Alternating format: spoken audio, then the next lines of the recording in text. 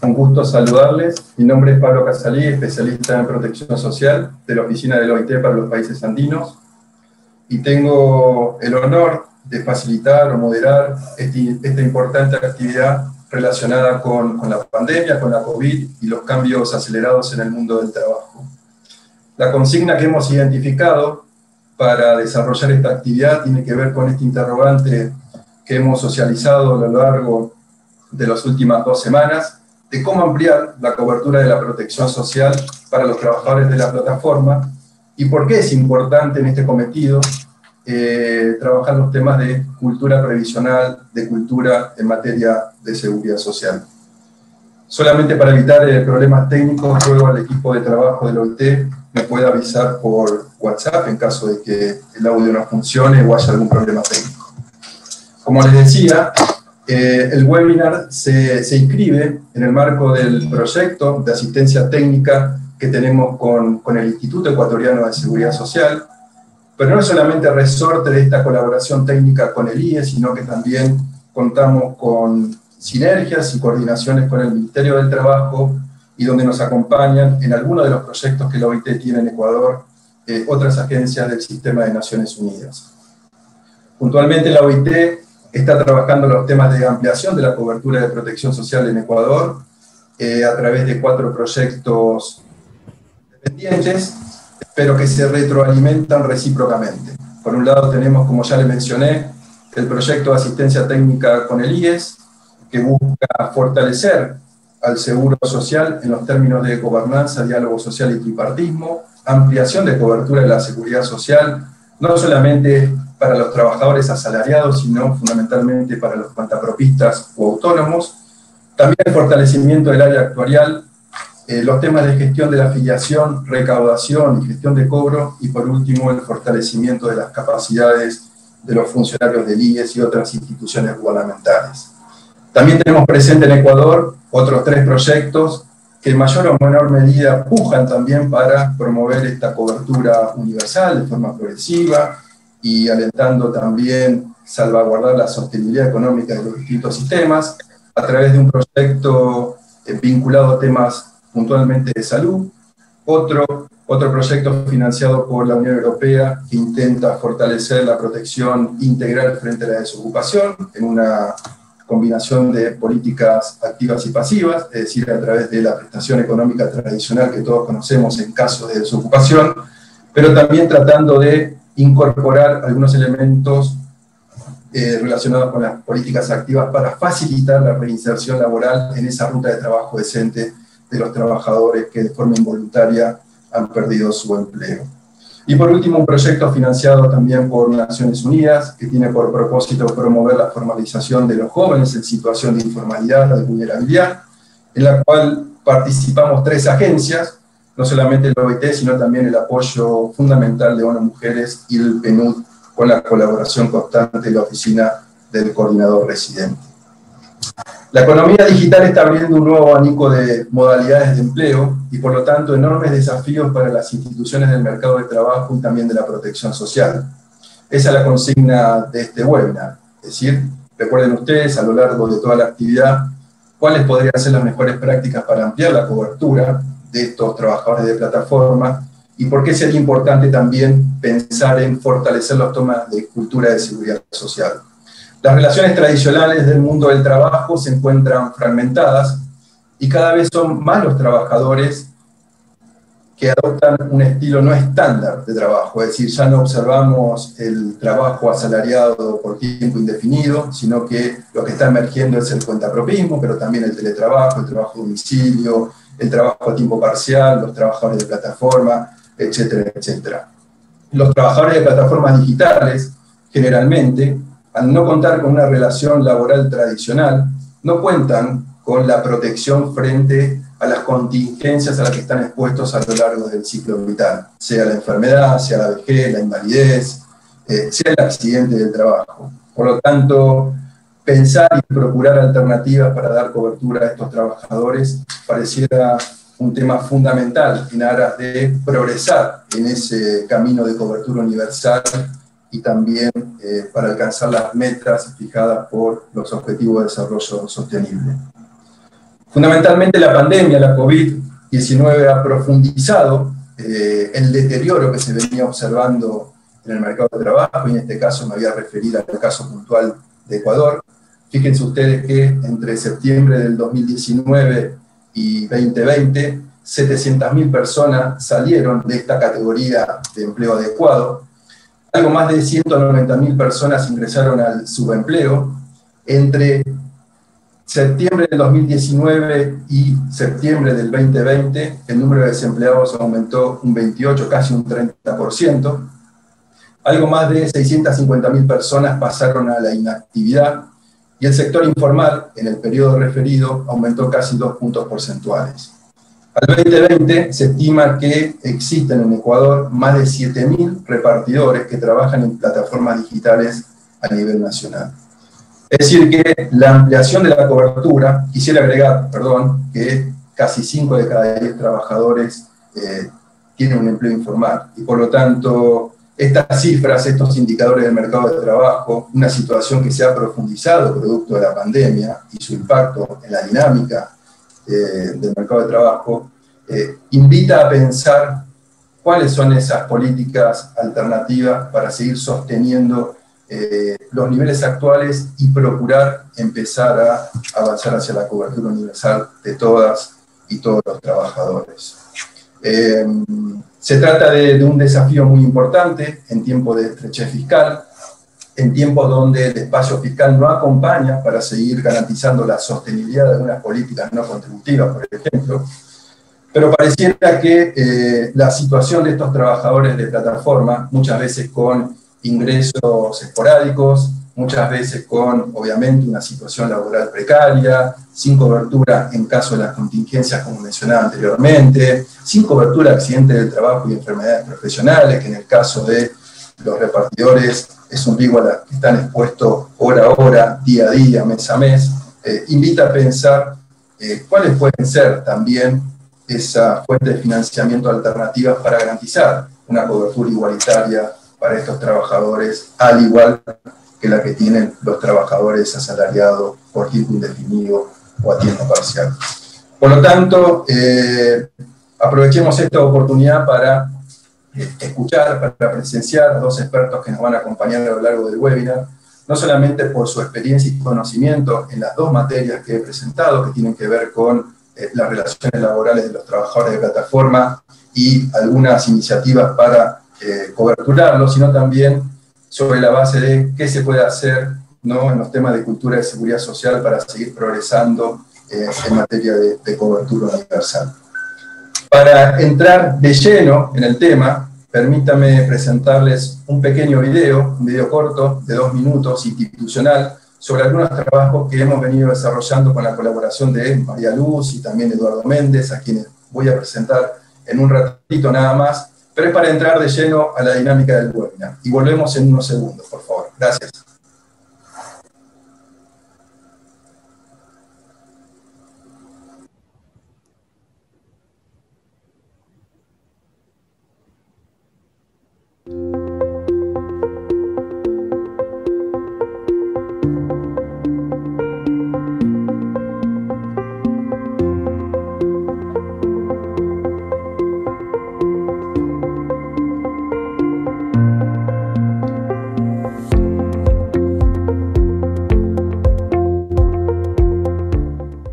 Digital puede ser una, puede acentuar la informalidad o puede, en función de cómo se mire y cómo se regule, o puede mejorar la informalidad eh, que existe en algunos mercados, en algunos mercados de trabajo.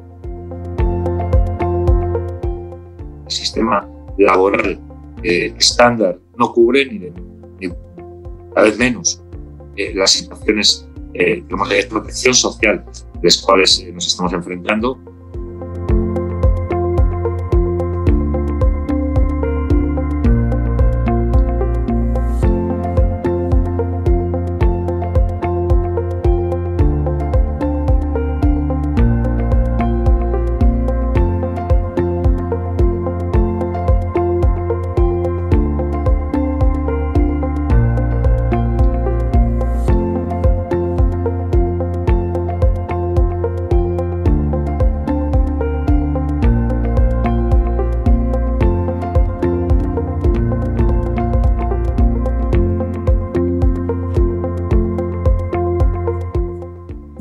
los sistemas de seguridad social tienen un permanente desafío y de alguna manera ese desafío no solo podrá ser resuelto por los sistemas, sino también por sus propias sociedades, donde la formación de una persona crítica y consciente de la importancia del sistema va a ser absolutamente clave.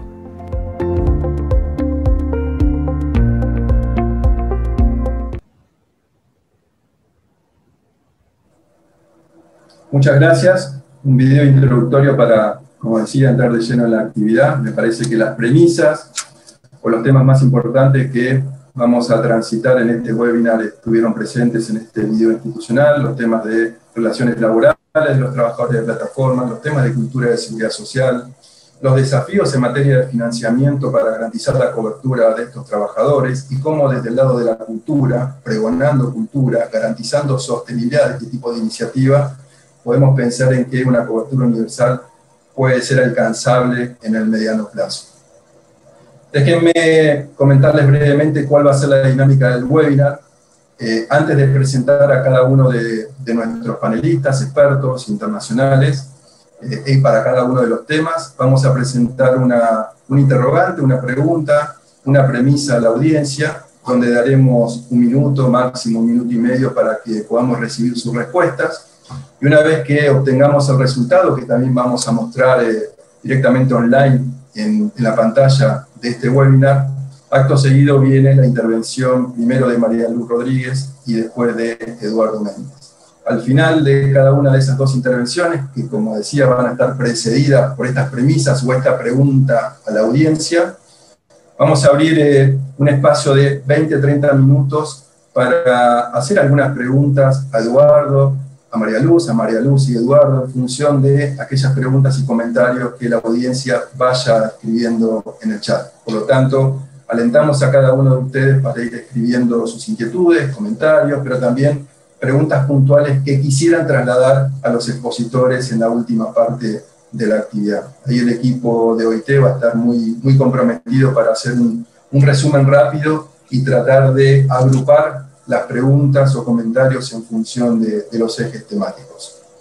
Eh, sin más, y antes de presentar a María Luz, me gustaría ir directamente a la primera premisa, la primera pregunta, por favor.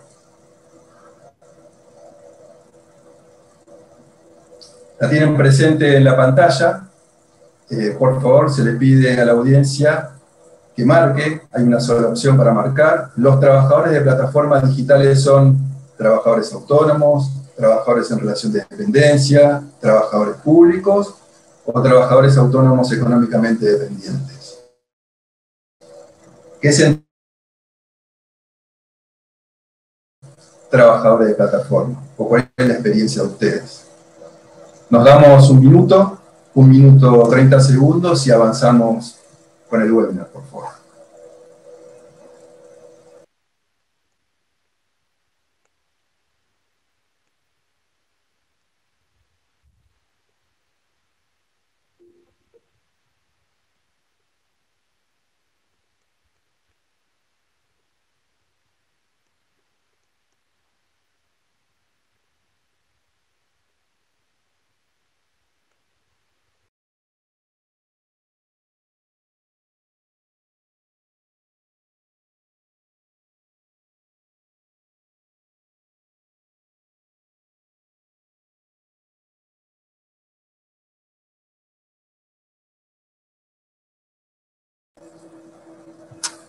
Todavía tenemos algunos participantes que, que no han marcado. Les pedimos por favor que lo hagan. Es anónimo, no hay registro de nada.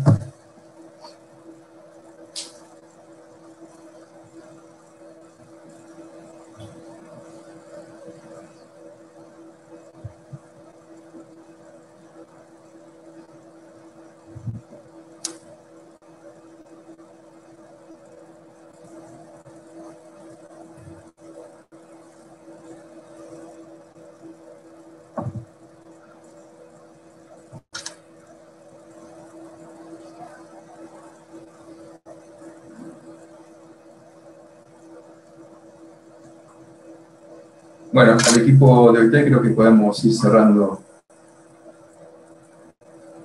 Así podemos mostrar los resultados, por favor. Bueno, los resultados son los que se ven. Una gran mayoría que identifica a los trabajadores de plataforma como trabajadores autónomos económicamente dependientes, casi el 65%. Luego le siguen como trabajadores autónomos y finalmente más de un 10% que, piensa o los define como trabajadores en relación de dependencia. Por supuesto que este es un ejercicio eh, no muy riguroso, solamente se ha pedido que en función de la experiencia, el conocimiento y el ámbito de actuación laboral eh, definan ¿no? cómo, cómo, observan, cómo caracterizan eh, a los trabajadores de plataformas digitales. Les agradezco mucho, entonces seguimos con, con el webinar. Me toca presentar a una colega, una experta internacional en estos temas, María Luz Espinosa, María Luz es experta en trabajo decente, con énfasis en las nuevas formas de trabajo, organizaciones sindicales, la revolución de las plataformas digitales y economía digital. Cuenta con más de 30 años de experiencia en la materia, habiéndose desempeñado en diferentes cargos con responsabilidad dentro del sector público en España y específicamente también como colaboradora externa de la OIT en las oficinas de Argentina, Chile, Paraguay y ahora también Ecuador. Obviamente en temas relacionados con la situación y perspectiva de las plataformas digitales en estos países. Actualmente María Luz es profesora titular de Derecho Laboral y Seguridad Social en la Universidad Castilla-La Mancha, en España, y en el sector público se ha desempeñado como secretaria de Estado de Empleo del Ministerio del Trabajo e Inmigración de ese país, vocal asesora del gabinete del ministro de Trabajo y Asuntos Sociales, y también como consejera de Empleo, Igualdad y Juventud del gobierno de Castilla-La Mancha. Eh, María Luz tiene una profusa eh, serie de publicaciones relacionadas con la temática, son muchas, no me voy a detener en mencionar cada una de ellas, pero tengan la plena seguridad de que ese inventario de publicaciones que me parece muy importante para situarnos en tiempo y espacio respecto de la evolución de esta temática y cómo se la está abordando y qué definiciones se están adoptando, van a estar a disposición de todo el público en la consolidación de los materiales que vamos a enviar a la finalización del webinar. Eh, María Luz, has tenido los resultados de, de este breve cuestionario que hemos hecho a la audiencia. Te invito por favor entonces a hacer tu intervención, no sin antes mencionarte eh, algunos elementos que a la audiencia le gustaría escuchar eh, en esa intervención corta, perdón por, por ser reiterativo, el tipo lo ha sido durante muchos días, pero básicamente lo que hemos eh, evaluado en Ecuador y en el trabajo constante que tenemos con el Ministerio del Trabajo, con el IES, con las organizaciones de trabajadores y de empleadores, por esta condición de una agencia del sistema tripartita, la única tripartita en el ámbito de Naciones Unidas, es que existen algunas dudas sobre qué se entiende por un trabajador de plataformas. Y además hay mucho interés, mucha inquietud en eh, revisar qué avances y retos existen para la ampliación de la cobertura de protección social para los trabajadores de plataformas digitales y además cuáles podrían ser las consideraciones, y esto obviamente que, que tal vez eh, te sorprenda, pero hay algunos, algunas preguntas que hemos recolectado en el trabajo diario que tenemos con estas instituciones y también con, con los constituyentes del OIT, que preguntan cuál debería ser el norte en el proceso de elaboración de una política pública en Ecuador. Así que los insumos que tú puedas proveer eh, en esta pequeña intervención van a ser muy bienvenidos eh, por la audiencia, por nosotros también en el OIT, y seguramente que vamos a dar seguimiento tiempo después. Muchas gracias por acompañarnos, un placer tenerte presente y avancemos. Tienes 20 minutos, por favor. Muy bien. Eh, bueno, buenos días allí en Ecuador, buenas tardes eh, desde España. Eh, la verdad es que para mí es un auténtico honor estar aquí con todos ustedes y también es, una auténtica satisfacción y un auténtico placer. es siempre un orgullo trabajar o colaborar con la Organización Internacional del Trabajo, en este caso con la Organización Internacional del Trabajo en su oficina en Ecuador, pero también eh, es un, especial orgullo para mí que esta relación, que esta actividad tenga conexión con el Instituto Ecuatoriano de Seguridad Social y también con el Ministerio de Trabajo de, aquel, de aquel país. Así que estoy muy agradecida y muy honrada.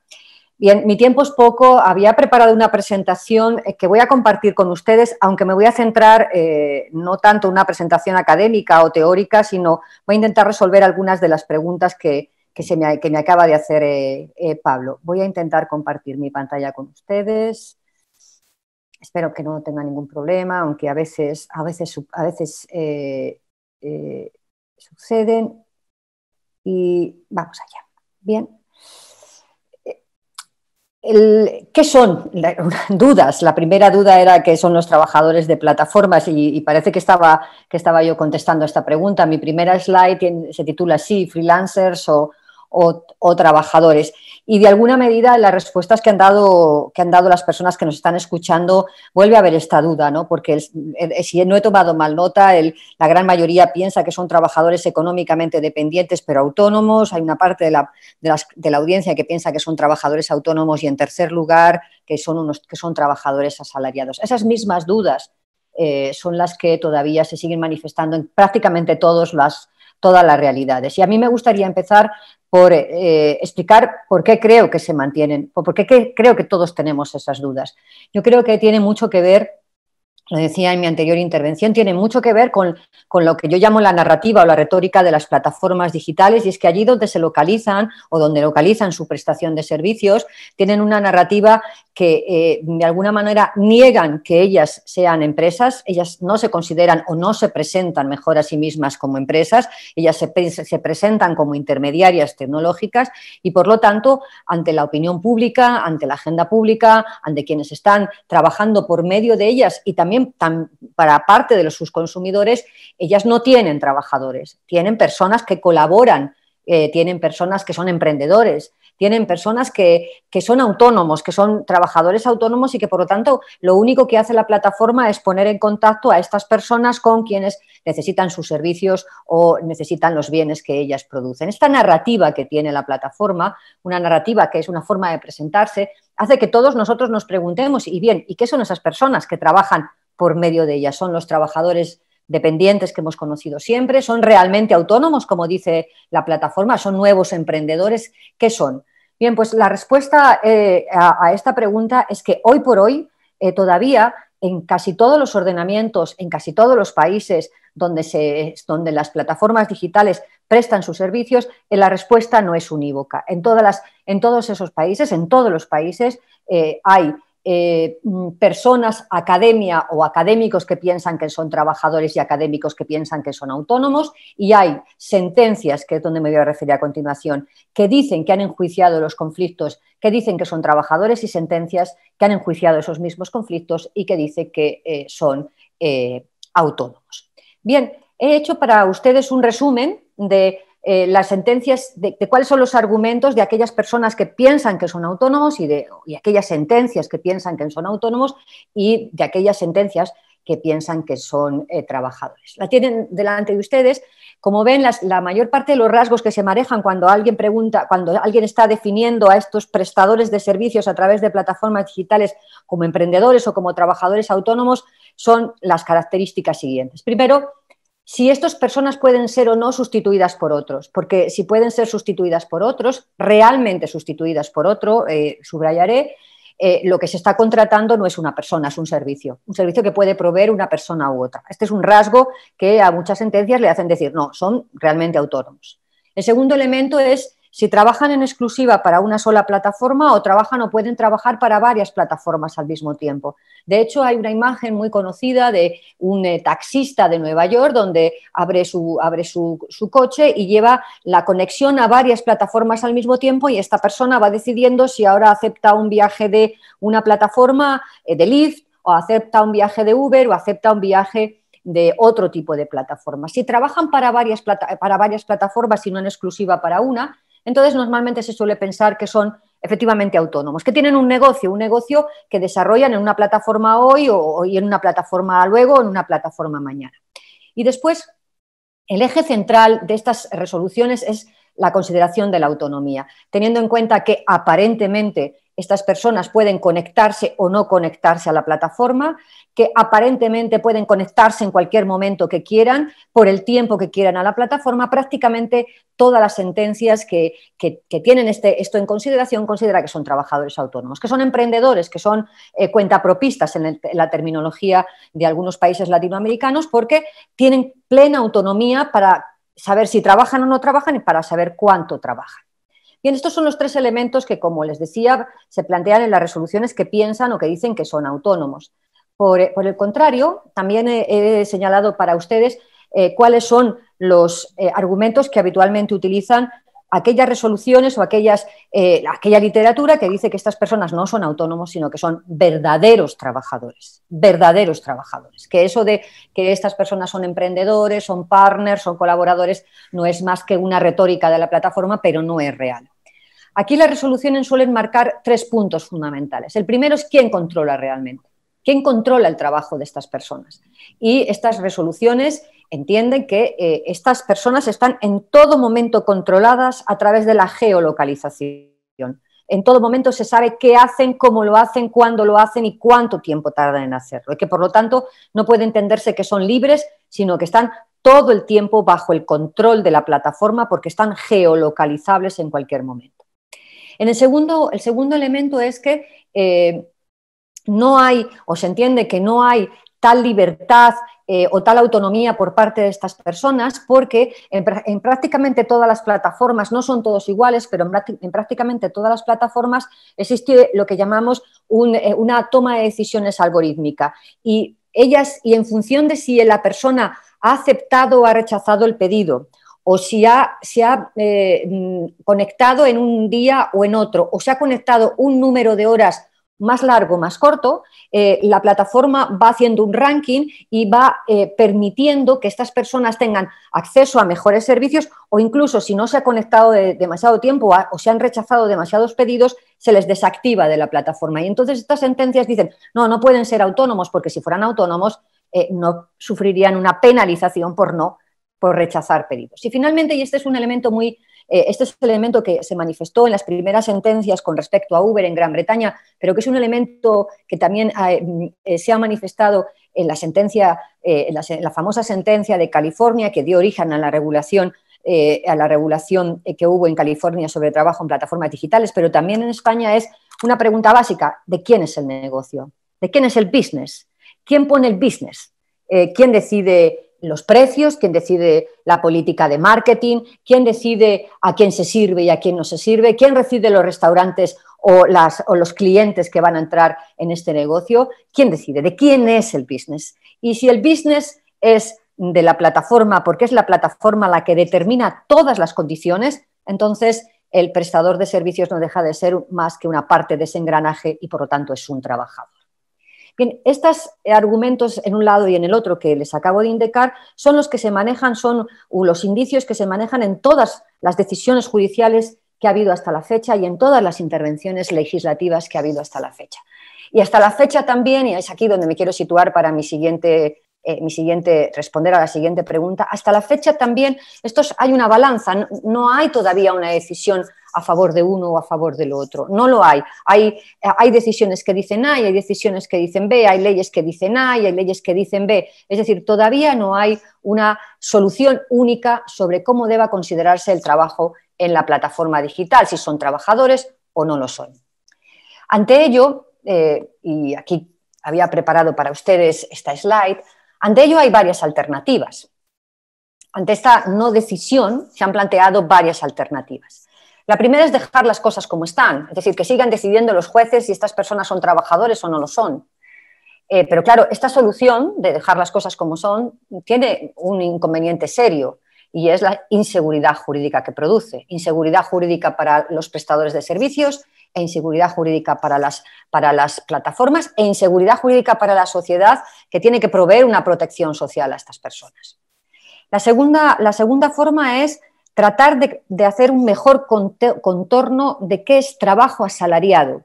Y aquí la solución que se está proponiendo, y esta es la solución, les adelanto ya que esta es la solución que se está proponiendo también en la nueva regulación española, que, que está, a punto de, está a punto de emitirse, es hacer una presunción muy fuerte de que estas personas son trabajadores asalariados, pero permitir que las plataformas eh, demuestren que son genuinos autónomos a través de que no existe el control, que no hay eh, penalizaciones eh, cuando, no cuando se producen rechazos o cualquier otro indicio que permita decidir finalmente que hay un genuino trabajo autónomo. Pero si no se demuestra, la ley presume que son trabajadores. La tercera solución es crear figuras intermedias. España tiene una figura intermedia, que es la, del trabajador autónomo económicamente dependiente, eh, que para mí es una mala solución, lo digo de antemano, es una mala solución porque multiplica el riesgo, al, multiplicar la posibilidades de estar clasificados en, en, un, en un lado o en el otro o en el otro, también multiplica el riesgo de interpretación y multiplica el riesgo de inseguridad jurídica. Y finalmente, eh, la posibilidad, y esta es una posibilidad que desde mi grupo de investigación hemos defendido y que yo eh, sigo defendiendo, la posibilidad de que más allá de que se discuta el estatus jurídico la clasificación jurídica que tengan estos trabajadores, exista un catálogo de derechos básicos, de derechos laborales básicos y un catálogo de derechos de protección social básicos que se apliquen a todas las formas de trabajo y por lo tanto se les aplique a estas personas sean trabajadores asalariados o sean genuinos autónomos. Es decir, que sin despreciar el elemento de si son trabajadores autónomos, que sea irrelevante este elemento porque seamos capaces entre todos de construir un catálogo común de derechos laborales y de protección social para el trabajo de eh, estas personas y que lo hagamos donde se produce el, reto. El reto se produce a, nivel global, este es un fenómeno global y por lo tanto el escenario debe ser global. ¿Cómo repercute todo esto que acabo de decir sobre la relación laboral en la plataforma, en, la plataforma eh, en, materia de seguridad social? Pues eh, de forma eh, muy directa, ¿no?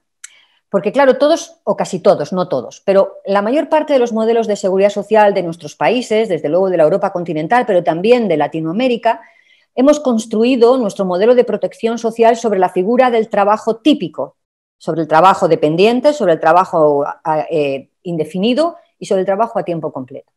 Y resulta que estos modelos de protección que hemos construido funcionan relativamente bien para el trabajo típico, pero a medida que nos vamos separando de ese núcleo de trabajo típico, y desde luego los trabajadores de la, de la, plataforma lo son, no solo ellos, pero también ellos, a medida que nos vamos separando de ahí, la protección social es mucho menor e incluso se llega a zonas de desprotección.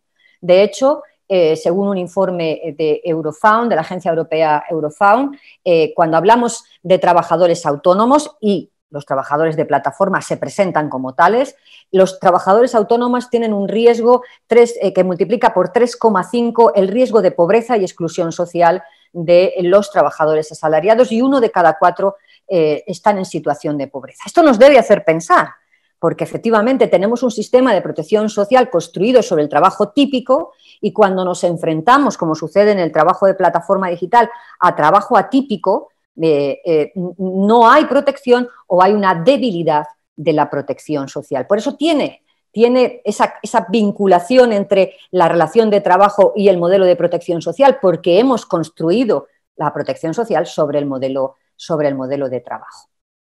¿Hay alguna respuesta? Y esta ya es mi última, en estos tres minutos que, eh, que, me quedan. ¿Hay alguna respuesta?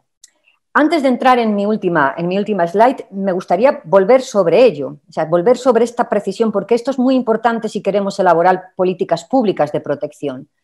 La, desprotección de las personas que trabajan a través de plataformas digitales no se produce per se por el hecho de trabajar para una plataforma digital. No se produce por ello, se produce porque el trabajo a través de plataformas digitales, porque eh, a través de esa narrativa que tiene la plataforma de que no tiene trabajo, sino que tiene emprendedores o que tiene autónomos, hace que estos trabajadores sean autónomos y por lo tanto tengan una desprotección social o una vulneración de su protección social. No es la plataforma en sí, es la plataforma que ha elegido el trabajo autónomo el ser trabajo autónomo, el ser trabajador autónomo, es el que hace que estos trabajadores tengan una menor protección social o una completa desprotección social, porque prácticamente en todos nuestros sistemas de seguridad social el trabajo autónomo tiene una protección social muy por debajo a la que tiene el trabajo asalariado. ¿Hay alguna solución? Y ahora ya voy a mi última slide y a mi última, y a mi última reflexión. Sí, yo creo que sí, es, bien posible. Lo primero, eh, yo planteo tres vías y, con esto termino. La primera vía es la que les he dicho antes. La primera vía es demandar eh, ante los jueces o declarar mediante intervenciones legislativas que la, relación que une a estas personas con, los con, con, las eh, plataformas digitales es una relación de trabajo asalariado y por lo tanto se les aplica la protección social de los trabajadores asalariados. Esto se puede hacer bien ganando en los juicios o se puede hacer teniendo una ley que diga que esto es así, que diga directamente estos, estas personas son trabajadores y por lo tanto tienen la misma protección social que el resto de trabajadores. Esta parece ser la solución de España. En, la última, en el último borrador está, está en este momento en diálogo social, pero en el último borrador de, que se ha planteado en la mesa de diálogo social es algo similar a esto. Se dice, estos trabajadores son trabajadores asalariados porque tienen respecto de la plataforma dependencia, se dice así, implícita o indirecta. Bien, esto se puede hacer perfectamente. ¿La legislación vigente puede hacerlo? Por supuesto. La ley es soberana en, decidir su ámbito de aplicación y por lo tanto podría decir, todas estas personas son trabajadores eh, y por lo tanto tienen la protección del trabajo dependiente.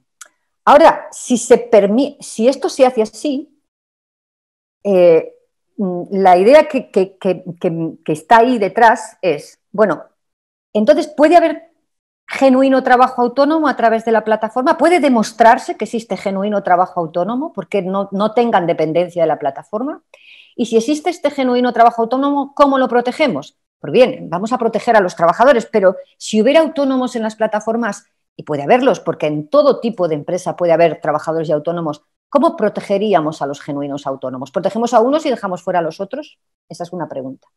Es la segunda vía para, acceder al alivio, de lo, que yo llamo el alivio de la desprotección social del trabajo en plataformas, es desacoplar la protección social del trabajo. E ir hacia un modelo que protege socialmente sin tener en cuenta si se trabaja o no se trabaja, o si se trabaja, y esto es lo más importante, si se trabaja con un estatus jurídico de trabajador asalariado o un estatus jurídico de trabajador independiente o de contratante independiente o de cuenta propista o de trabajo autónomo.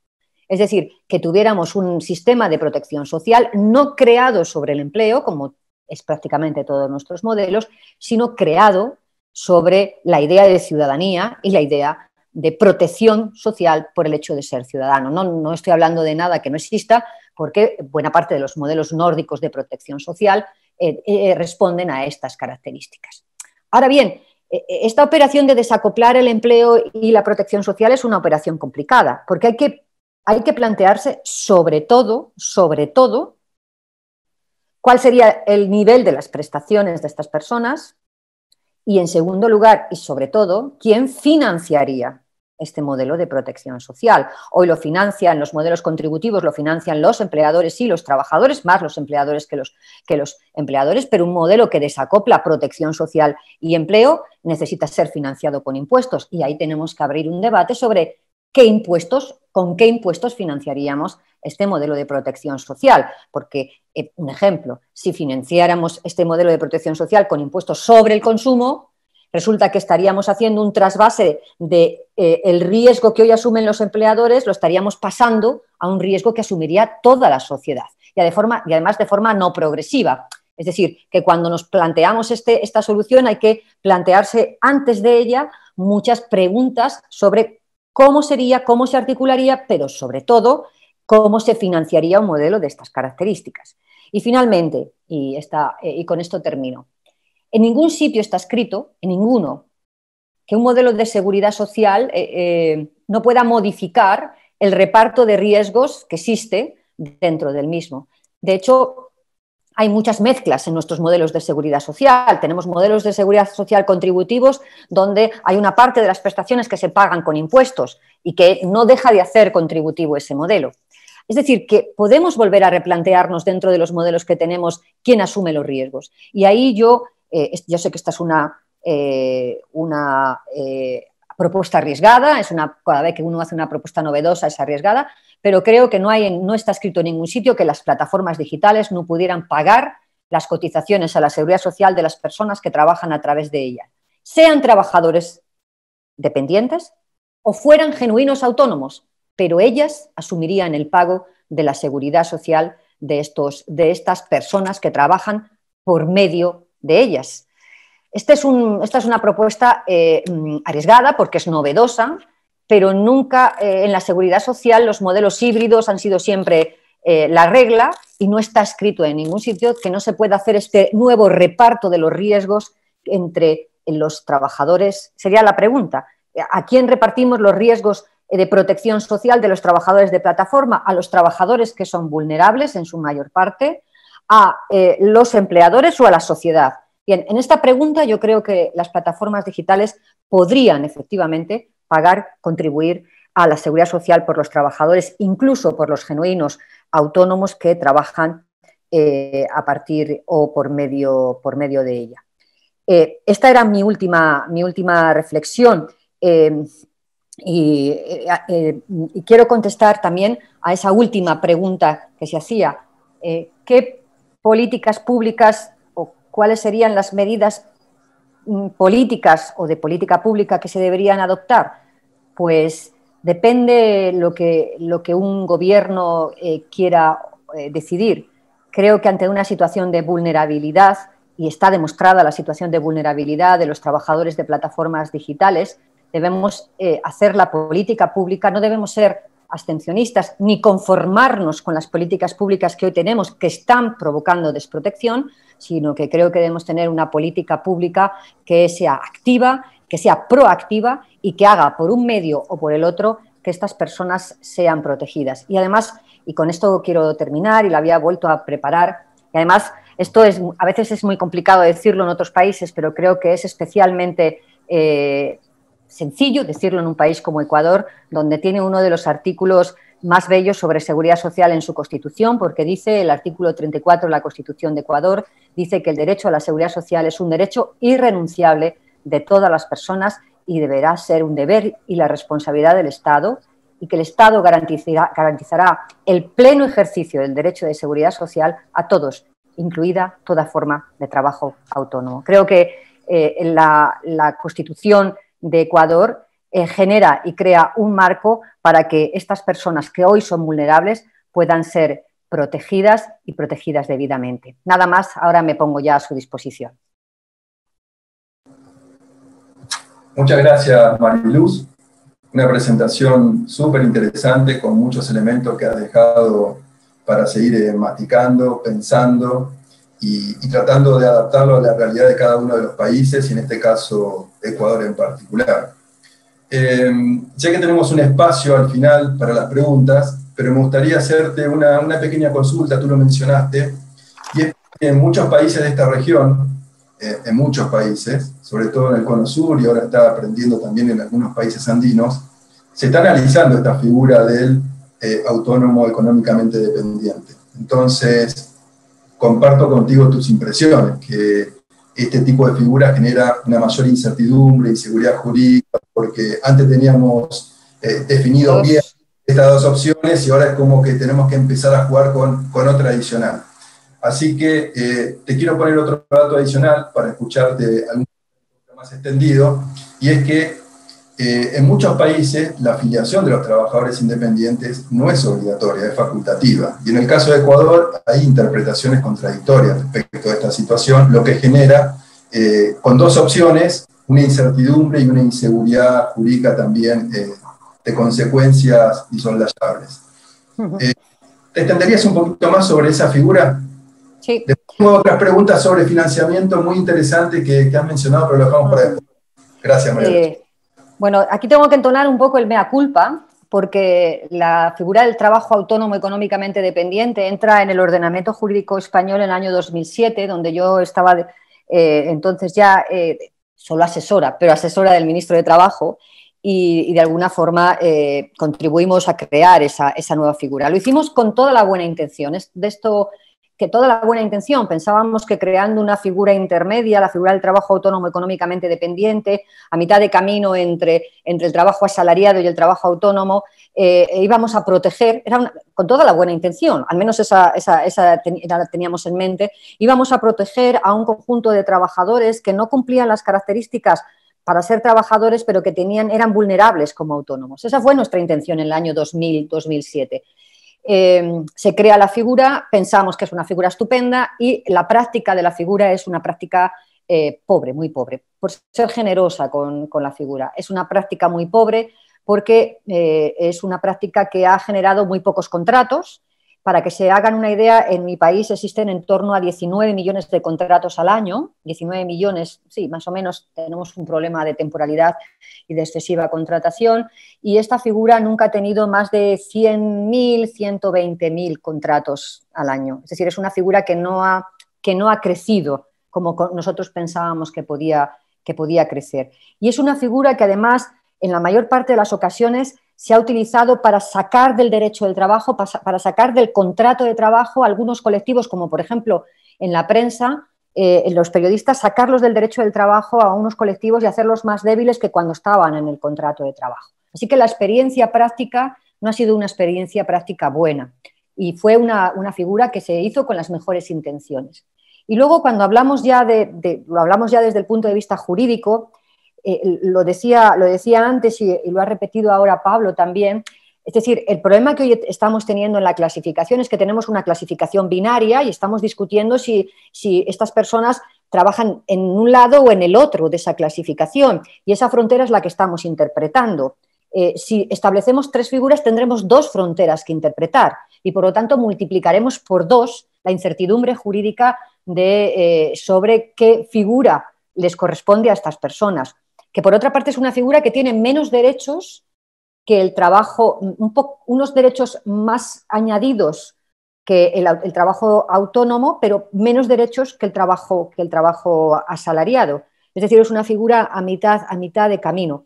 Pero sobre todo en, en, el momento esto, más allá de la práctica, es que no nos volveríamos a tener el riesgo de inseguridad jurídica, de interpretación en qué, en qué cajón, yo suelo decir, en qué carril estarían estos, estos trabajadores, salvo que hubiera una interpretación, una intervención normativa que sería posible, perfectamente posible, que dijera eh, lo que nosotros llamamos de forma constitutiva, que dijera las personas que trabajan a través de plataformas digitales son esto, en cuyo caso son trabajadores autónomos o trabajadores autónomos económicamente dependientes o trabajadores XX. Si hubiera una intervención de esas características constitutiva, el problema interpretativo no existiría. Pero en el momento que tengamos que podamos interpretar cuáles son las circunstancias que se dan en la relación para encajarlas en un camino, en otro o en otro, seguiremos teniendo inseguridad jurídica y en lugar de dos inseguridades jurídicas, tres inseguridades jurídicas. Muy clara, María Luz. Muchas gracias por, esta respuesta adicional. Me parece que, que completa un poquito ese abordaje en cuanto a, este tema, ¿no? el tema de los autónomos económicamente dependientes y algunas insinuaciones que se están esbozando en algunos países de esta región para avanzar en, en esa medida. Así que, por favor, tengan presente estos comentarios, estas observaciones de lo que está pasando en la práctica en, en España y, y, cómo ha avanzado ¿no? los temas de cobertura producto de esta nueva medida. Pasamos al segundo tema, que no es un tema desligado totalmente de lo que estamos conversando. Eh, vamos, a, vamos a introducir los temas de, cultura previsional, de cultura de seguridad social, como un vehículo importante para promover y garantizar la sostenibilidad de las políticas de ampliación de la cobertura de seguridad social. Pero antes de presentar a nuestro, a nuestro panelista, Eduardo Méndez, me gustaría que, que el equipo me apoye con la segunda premisa, la segunda pregunta para la audiencia. Muchas gracias. La tienen en pantalla, por favor, a su criterio. ¿Para qué fines sirve la promoción, creación, institucionalización de un plan de cultura de seguridad social? Elija, por favor, la más conveniente, aquella que se vincule con sus creencias, con su experiencia, con su conocimiento. Eh, en fin, hay una sola opción, generar una imagen negativa del sistema de seguridad social, hacer que las personas comprendan y valoren la necesidad de contar con mecanismos de protección social, naturalizar la seguridad social como un derecho humano fundamental, algo que mencionaba María Luz Rodríguez en su presentación, involucrar a la ciudadanía en el funcionamiento y desafíos de la protección social, y la última, mejorar la imagen del gobierno. Así que le pedimos por favor que clicleen ahí la que ustedes piensen que es la que se adapta a la premisa, a la pregunta formulada. Nos damos un minuto, por favor, y avanzamos con, el webinar.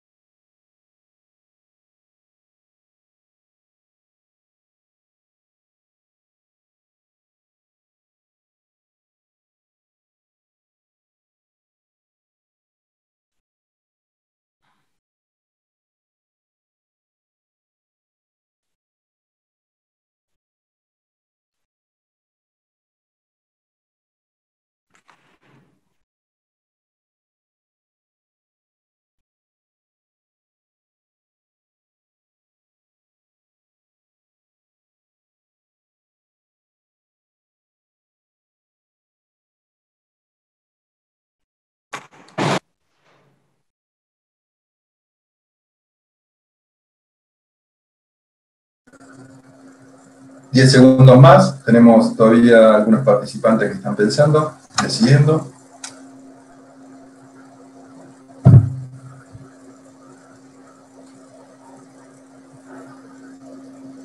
Hacemos cuenta regresiva. 5, 4, 3, 2, 1. Cerramos la, la votación, por favor, y mostramos los resultados. Bueno, eh, afortunadamente nadie piensa que los temas de cultura eh, tienen por propósito mejorar la imagen del gobierno o generar una, imagen negativa del sistema de seguridad social. Y después está bastante distribuido, un tercio cada una, entre promover que las personas comprendan y valoren de mejor forma eh, la cobertura, los mecanismos de protección social, naturalizar la seguridad social como un derecho humano fundamental e involucrar a la ciudadanía en el funcionamiento y desafío de la protección social, sea a través del diálogo social, eh, de representantes de trabajadores, empleadores y gobierno y la sociedad toda. Muchas gracias por, por, esta participación, son elementos importantes, insumos importantes para nuestro próximo panelista y ahora sí lo quiero presentar. Eduardo Méndez, Eduardo Méndez, además de uruguayo, es un amigo, es experto en procesos de creación de cultura en seguridad social y formación. Cuenta con más de 30 años de experiencia desempeñándose en diferentes cargos con responsabilidad dentro del sector público de Uruguay. Y puntualmente ha trabajado como colaborador externo de la OIT en actividades en Paraguay, Perú y ahora también en, en Ecuador. Adicionalmente, ha dado soporte técnico, por supuesto, a la OIT en nuestra sede de Ginebra, a la Asociación Internacional de la Seguridad Social y también a la Organización Iberoamericana de Seguridad Social. Actualmente es director del Centro de Estudios en Seguridad Social, Salud y Administración del BPS, el Banco de Previsión Social del Uruguay, institución en la que ha trabajado por más de dos décadas. Eduardo, te agradezco mucho por acompañarnos en este importante webinar. Es un acompañamiento renovado. Ya lo venías haciendo con María Luz en algunos webinars internos con el IE, con el Ministerio del Trabajo. Y te quiero trasladar, por favor, tres premisas, eh, tres preguntas para ordenar eh, eventualmente tu, intervención. Eh, a tu criterio, ¿Cuál es el propósito de promover e institucionalizar una cultura de seguridad social en el país? En este caso, alguna referencia a Ecuador podría ser bienvenida. Eh, y te consultamos eh, qué sería más relevante. Propiciar que las personas comprendan y valoren la necesidad de contar con coberturas en materia de protección social y en función de las distintas contingencias a las que están expuestos a lo largo de todo el ciclo vital naturalizar, como lo propiciábamos en la premisa con la audiencia, eh, la seguridad social como un derecho humano fundamental, machacando, machacando, eh, a partir de edades tempranas, eh, eventualmente a través del sistema educativo, o solamente socializando derechos y obligaciones de la ciudadanía en materia de seguridad social. Espero que estas tres premisas, si se quiere, y los resultados de, esa mini encuesta, eh, con nada de rigurosidad técnica, te ayuden para, para, intervenir en estos 20 minutos, por favor, que, te hemos dado para desandar un poquito todos estos temas de cultura que mucha gente no entiende o piensa que es algo abstracto y no, lo, no logra finalmente vincularlo con los temas concretos y técnicos en los esfuerzos para ampliar la cobertura de seguridad social. Muchas gracias, Eduardo. Adelante. Pablo, eh, un enorme gusto estar compartiendo este webinar. La verdad que es, eh, al igual que lo manifestó María Luz, es un honor, es un privilegio estar realizando este intercambio.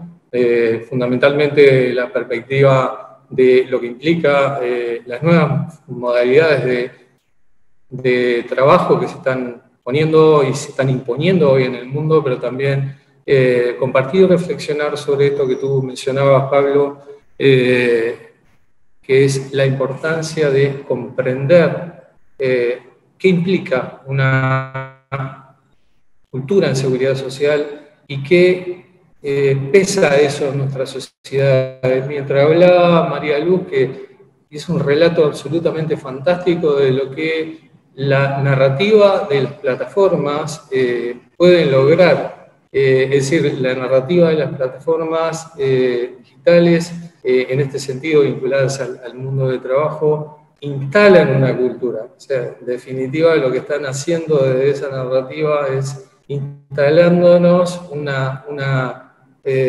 una cultura de cómo es ese segmento de mercado y cómo se debe considerar, se debe considerar al trabajador o a los trabajadores que eh, ofrecen sus servicios a través de la plataforma.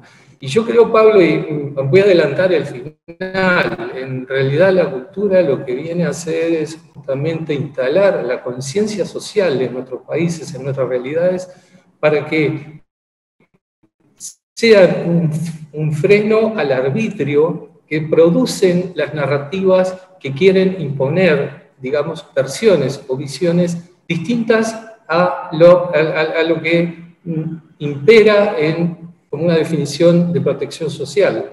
Es fundamentalmente un derecho humano eh, fundamental. En definitiva, si un país, una sociedad, posee una cultura en seguridad social y ahora vamos a trabajar o vamos a, a intentar develar, de construir eh, desde la abstracción a, cuestiones mucho más prácticas, si una sociedad tiene una cultura de seguridad social, podrá establecer límites de lo que es admisible y lo que no es admisible en relación a lo que es la cobertura que merecen los trabajadores y que debe proporcionar la cobertura en sí, mismo en, esa realidad.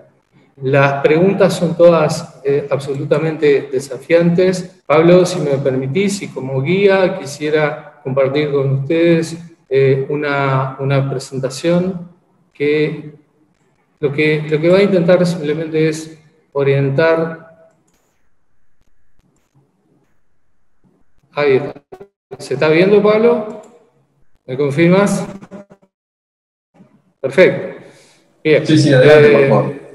Sí, sí, adelante, por favor. Muy bien, muchas gracias. Hoy eh, yo creo que todos los sistemas de seguridad social se enfrentan a tres, tres grandes desafíos.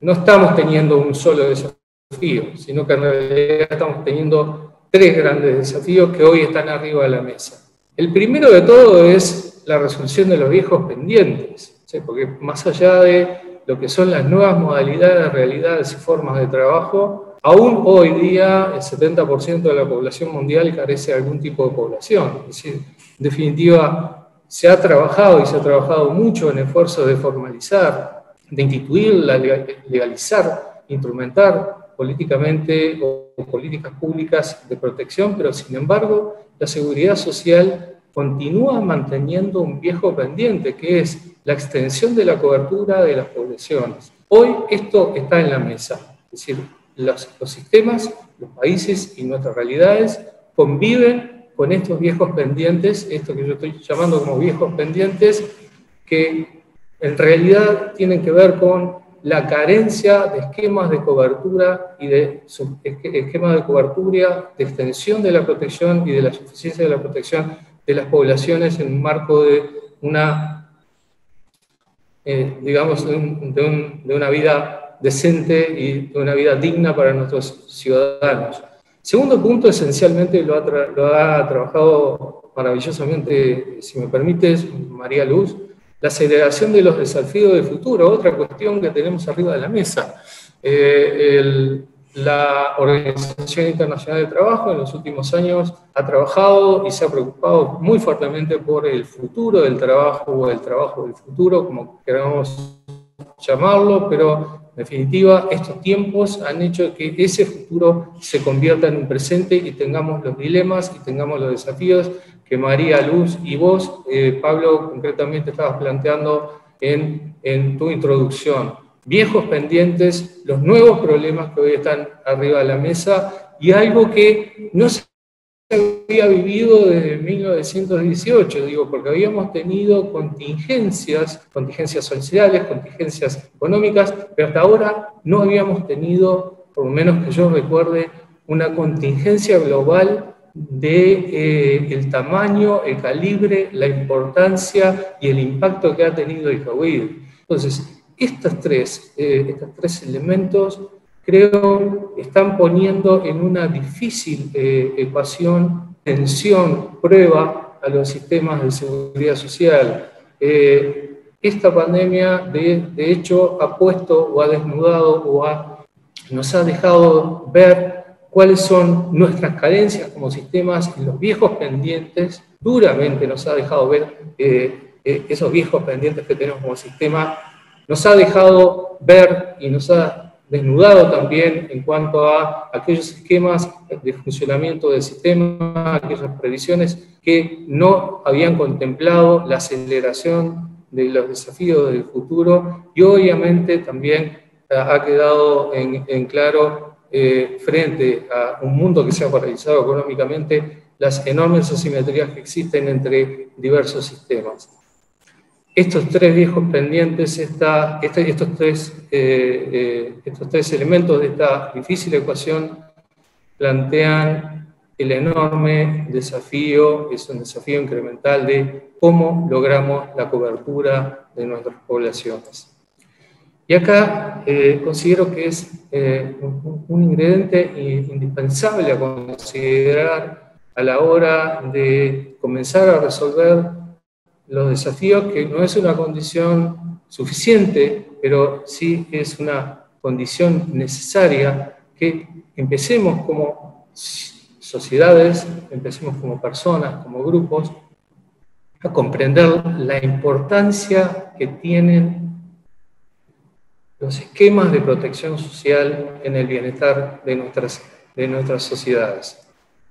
Fundamentalmente a través de la sensibilización e y también el involucramiento de los actuales y futuras generaciones, fundamentalmente en el conocimiento de la seguridad social, en todos los planos que tú planteabas, Pablo, tanto eh, en el plano del conocimiento de los derechos, de las obligaciones, en el plano del involucramiento, en el plano también de la creación de, una actitud crítica y eh, una actitud que sea también absolutamente participativa por parte de la ciudad, de los, de las, de los ciudadanos y fundamentalmente de las sociedades. Este nuevo paradigma, de alguna forma, de poner también sobre la mesa la necesidad de crear cultura en nuestras sociedades, cultura de protección social, creo que operan en, tres, en tres factores absolutamente fundamentales. Uno que tú mencionabas, naturalizar la, la, seguridad social como un derecho humano, un derecho humano fundamental. Esto tiene que estar absolutamente incorporado y de alguna manera es lo que eh, mencionaba hace unos instantes, va a ser el freno que nuestras sociedades pongan al arbitrio sobre los relatos que quieran desconstruir protección. Otro asunto absolutamente clave en, la creación de la cultura es el impacto que tienen en los funcionamientos de los sistemas, en tanto nuestras sociedades, nuestros ciudadanos tengan claro cuáles son sus derechos, sus obligaciones, mejor van a funcionar nuestros sistemas. Y una de las cuestiones que es absolutamente constante en nuestros sistemas de protección social es el cambio.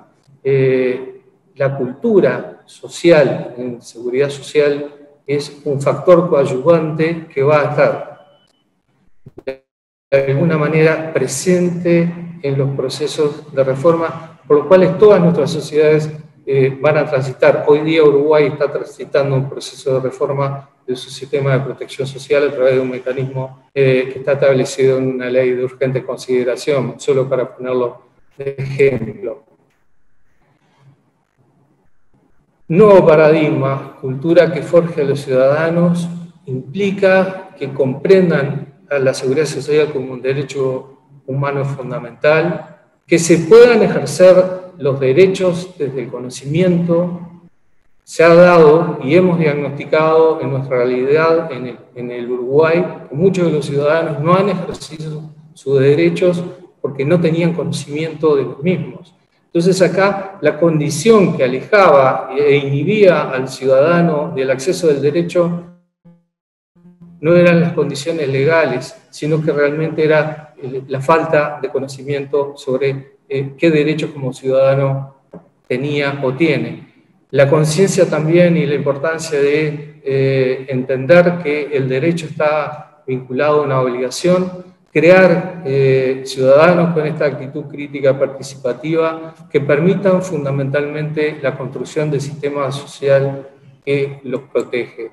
Ahora bien, y rápidamente va avanzando el reloj, Pablo, tenemos que entender ponernos de acuerdo en qué quiere decir cultura. Cultura es un término polisémico que es utilizado de un montón de formas y que en, en general es uno de los términos que recurrentemente es más consultado en el diccionario de la Real Academia Española. ¿Qué quiero decir con esto? Bueno, tenemos que entender qué es cultura si queremos crear cultura. Y bueno, eh, eh, la cultura sabemos que hace nuestras formas de procesar la realidad, nuestras creencias, nuestras formas de ver la vida, lo que vamos aprendiendo de nuestra perspectiva vital como individuos y fundamentalmente lo que vamos aprendiendo en nuestras relaciones diarias, en nuestro quehacer diario, en nuestra interacción diaria con la sociedad. Podemos definir que comprender la cultura de una persona es comprender lo que esa persona diariamente ve y observa desde la ventana de su vivienda. A mí me gusta mucho esta definición de cultura porque creo que es abarcativa y nos comprende a todos, es decir, nuestra cultura, en qué estamos incluidos, en qué estamos excluidos en la vida, un poco tiene que ver con la visión que tenemos desde la ventana de nuestra vivienda. Construir cultura en seguridad social necesariamente tiene que eh, tener un deber ser establecido. Todos nosotros tenemos nociones de lo que es una protección social, pero cuando queremos crear una cultura en seguridad social, eh, tenemos, se anteponen las nociones que tenemos como personas, como grupos o como sociedades a lo que es un deber ser. Este deber ser, ¿cuál es el deber ser que tiene que tener una cultura en seguridad social? Es, eso lo tiene que definir cada sociedad, cada país, cada contexto. Y en definitiva, la, el esfuerzo de creación de cultura en seguridad social tiene que ver con acercar los aspectos nocionales, es decir, lo que creemos nosotros como personas, como grupos, a ese deber ser. En definitiva, crear cultura en seguridad social implica acercar la seguridad social a la ventana vivencial de cada una de las personas. ¿Para qué vamos a crear cultura? Bueno, obviamente ya lo, lo, habíamos mencionado, formar un ciudadano crítico, formar una sociedad crítica, eh, habilitar a actuar con independencia de criterio y con juicio crítico, y esto a mí realmente me, me resultó muy, muy satisfactorio que nadie hubiese marcado que se crea cultura de seguridad social para mejorar eh, una imagen de un gobierno. Porque en definitiva tenemos que crear cultura, o entiendo yo que tenemos que crear cultura justamente para lo contrario, para que seamos las personas que tengamos un juicio crítico y estemos analizando qué es lo que se nos está poniendo por delante. Crear cultura en seguridad social para construir normas de convivencia, para respetar las diferencias, para establecer esto que es tan fundamental como la cooperación y el sentido de solidaridad eh, social. Esto, esto de alguna manera se tiene que aprender, no solo aprender, sino aprender. Y yo creo que también dentro de nuestras realidades tenemos que trabajar, y acá una, una referencia a lo que tú me pedías, en, en, la realidad ecuatoriana, en la realidad uruguaya, en la realidad latinoamericana, potenciar la formación de un sujeto situado en una identidad también nacional y latinoamericana. Yo creo que la creación de cultura en seguridad social fomenta este aspecto y de alguna manera también nos revaloriza como sociedades.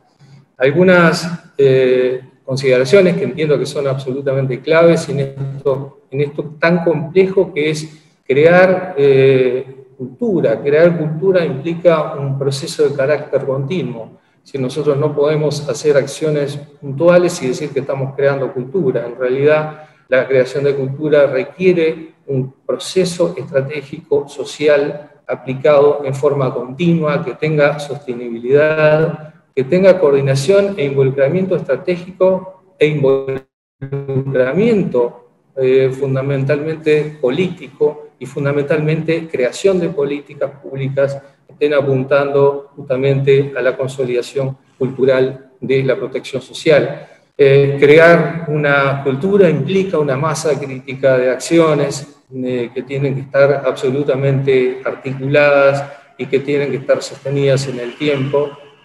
Implica también crear cambios culturales hacia nuestras organizaciones, quienes administramos, quienes proveemos el servicio público de la seguridad social, tenemos que entender también que formamos parte de esa cultura de seguridad social y que tenemos que tener un servicio de cercanía con nuestros ciudadanos que somos en definitiva servidores públicos eh, en la protección social.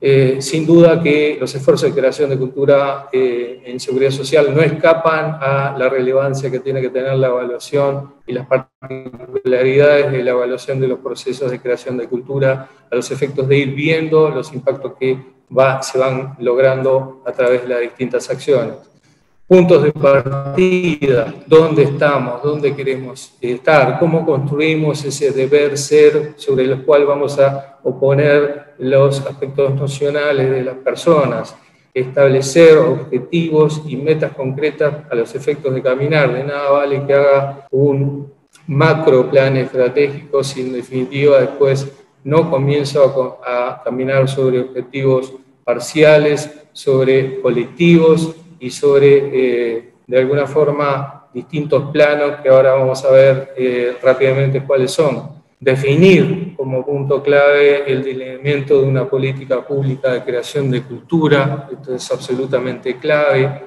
Contemplar las, las distintas realidades nocionales, cuáles son los distintos públicos objetivos. Una cultura comprensiva en protección social tiene que tener la consideración de todos los contextos socioeconómicos socioeconómicos, sociales y culturales de una realidad. Y fundamentalmente para construir una cultura en seguridad social, si bien se, se necesita una definición política y además la definición de políticas públicas, se necesita también que participen los propios actores a los efectos de que se apropien de los procesos de creación de cultura en seguridad social. Eh, esto lo voy a saltear, Pablo, porque hace un poco la mención de lo que eh, venía mencionando. Les va a quedar esta diapositiva que tiene que ver con cuestiones mucho más terrenales en las acciones que se tienen que tomar a los efectos de la creación de la cultura. Sí, quería llegar a esto otro que es en qué planos, en qué planos tenemos que trabajar la cultura en seguridad social, bien en la educación política. Nuestros políticos tienen que son la protección social y esto es absolutamente clave. Tenemos que trabajar también en planos de educación formal y no formal, en campañas de difusión focalizadas o generalizadas, en la formación de los servidores públicos que tienen que saber, saber ser un funcionario o una funcionaria que estén trabajando totalmente en la provisión de protección social. No es una persona que hace un trámite de un lado mostrador, sino que en realidad tenemos que crear la conciencia cultural interna de que ese acto lo que está haciendo es crear ni más ni menos que protección social, fortalecimiento de la gobernanza a través de la cultura de nuestras instituciones.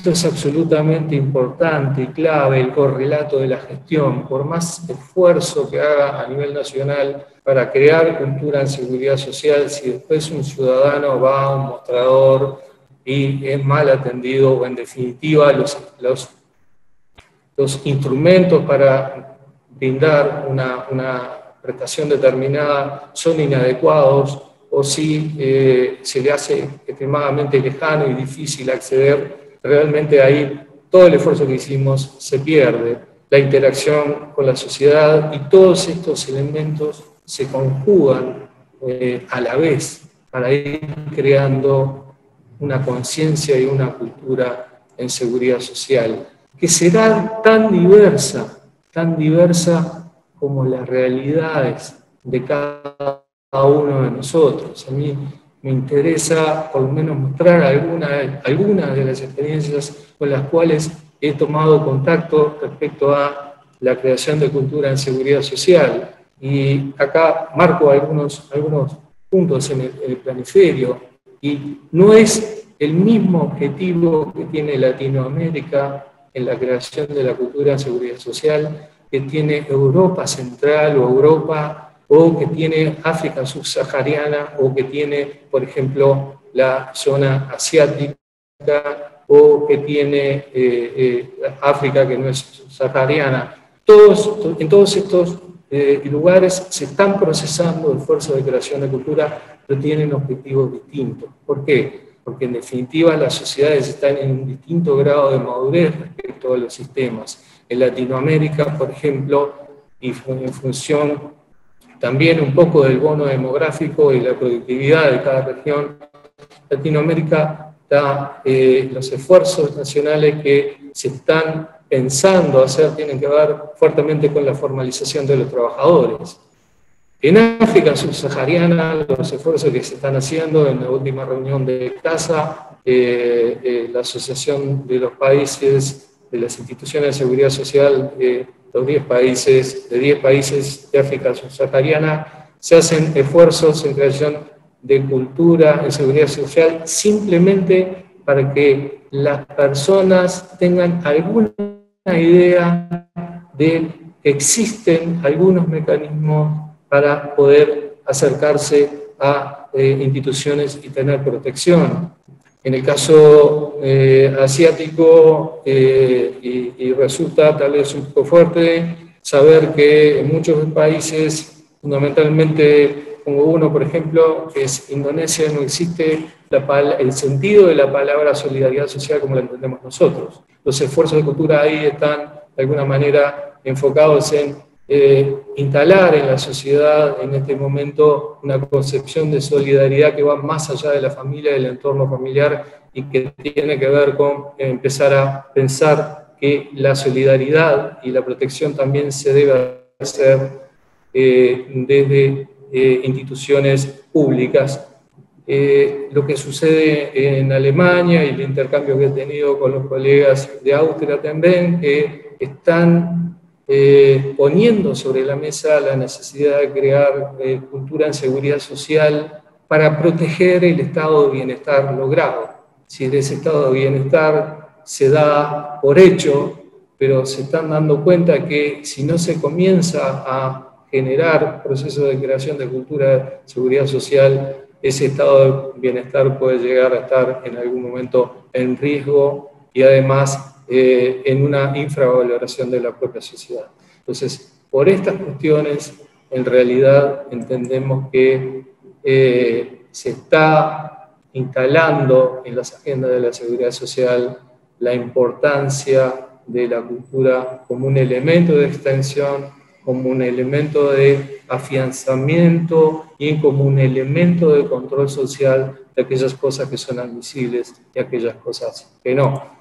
Pablo, dejo por acá y muchísimas gracias por vuestra atención.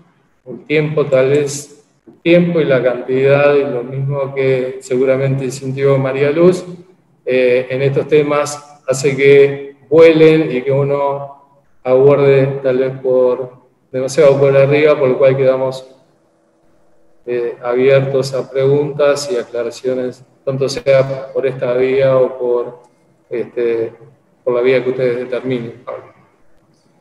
Dale, muchas gracias Eduardo. Eh, también muy interesante la presentación.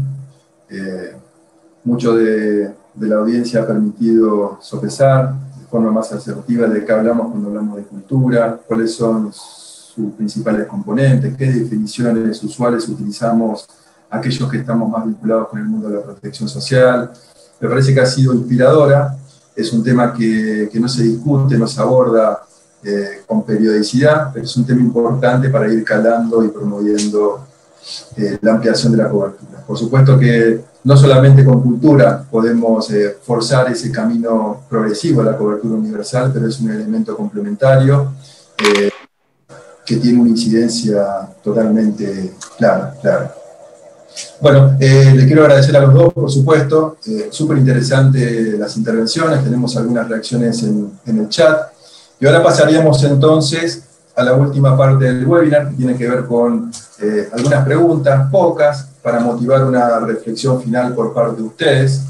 Quiero hacer una pregunta eh, idéntica a los dos. Vamos a empezar con María Luz y después le vamos a dar el pase a Eduardo y que tiene que ver con eh, una pregunta sobre la coyuntura actual del avance de eh, la tecnología, sobre el avance de las cuestiones digitales, que implica también eh, el avance sobre este futuro del trabajo que hace un año pensábamos que no estábamos tan cerca y que producto de la pandemia y la digitalización de todo, todo el trabajo, de todas nuestras tareas, nos está encontrando mucho más cerca de lo que pensamos. Entonces, la, primera pregunta que quisiera realizarle a los dos tiene que ver con eh, las políticas que deben desarrollarse para el avance digital y la explosión de formas de empleo derivadas del mismo, van más allá de lo estrictamente laboral. De ahí María Luz eh, se playó y, y, con mucha profundidad en algunos casos sobre, sobre esta situación.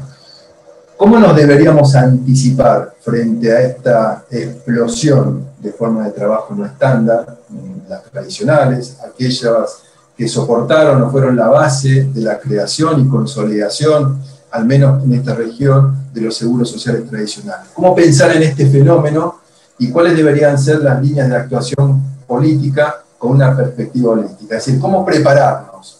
Eh, lo deberíamos haber hecho mucho antes, ¿no? pero no, nos toca ahora eh, en regiones la situación es bien heterogénea, pero en esta región en particular y, los países andinos, eh, haciendo el foco en los países andinos, eh, nos estamos desayunando ¿no? rápidamente sobre el avance de las nuevas tecnologías, un futuro del trabajo que lo pensábamos para un tiempo mucho más temporalmente lejos y ahora nos está sorprendiendo, la digitalización de todo lo que conocemos y hacemos, ¿Cómo anticiparse a toda esa discusión, a todo este fenómeno que impacta sobre las instituciones tradicionales del mercado del trabajo y la seguridad social? ¿Cuál debería ser la hoja de ruta para pensar, bueno, eh, estamos acá, es esto lo que nos está pasando, se avecinan estos impactos, cómo afrontar esta nueva realidad que no vuelve atrás, ¿no? María Luz, quisiera tus comentarios iniciales y después pasamos a Eduardo. Gracias. De acuerdo.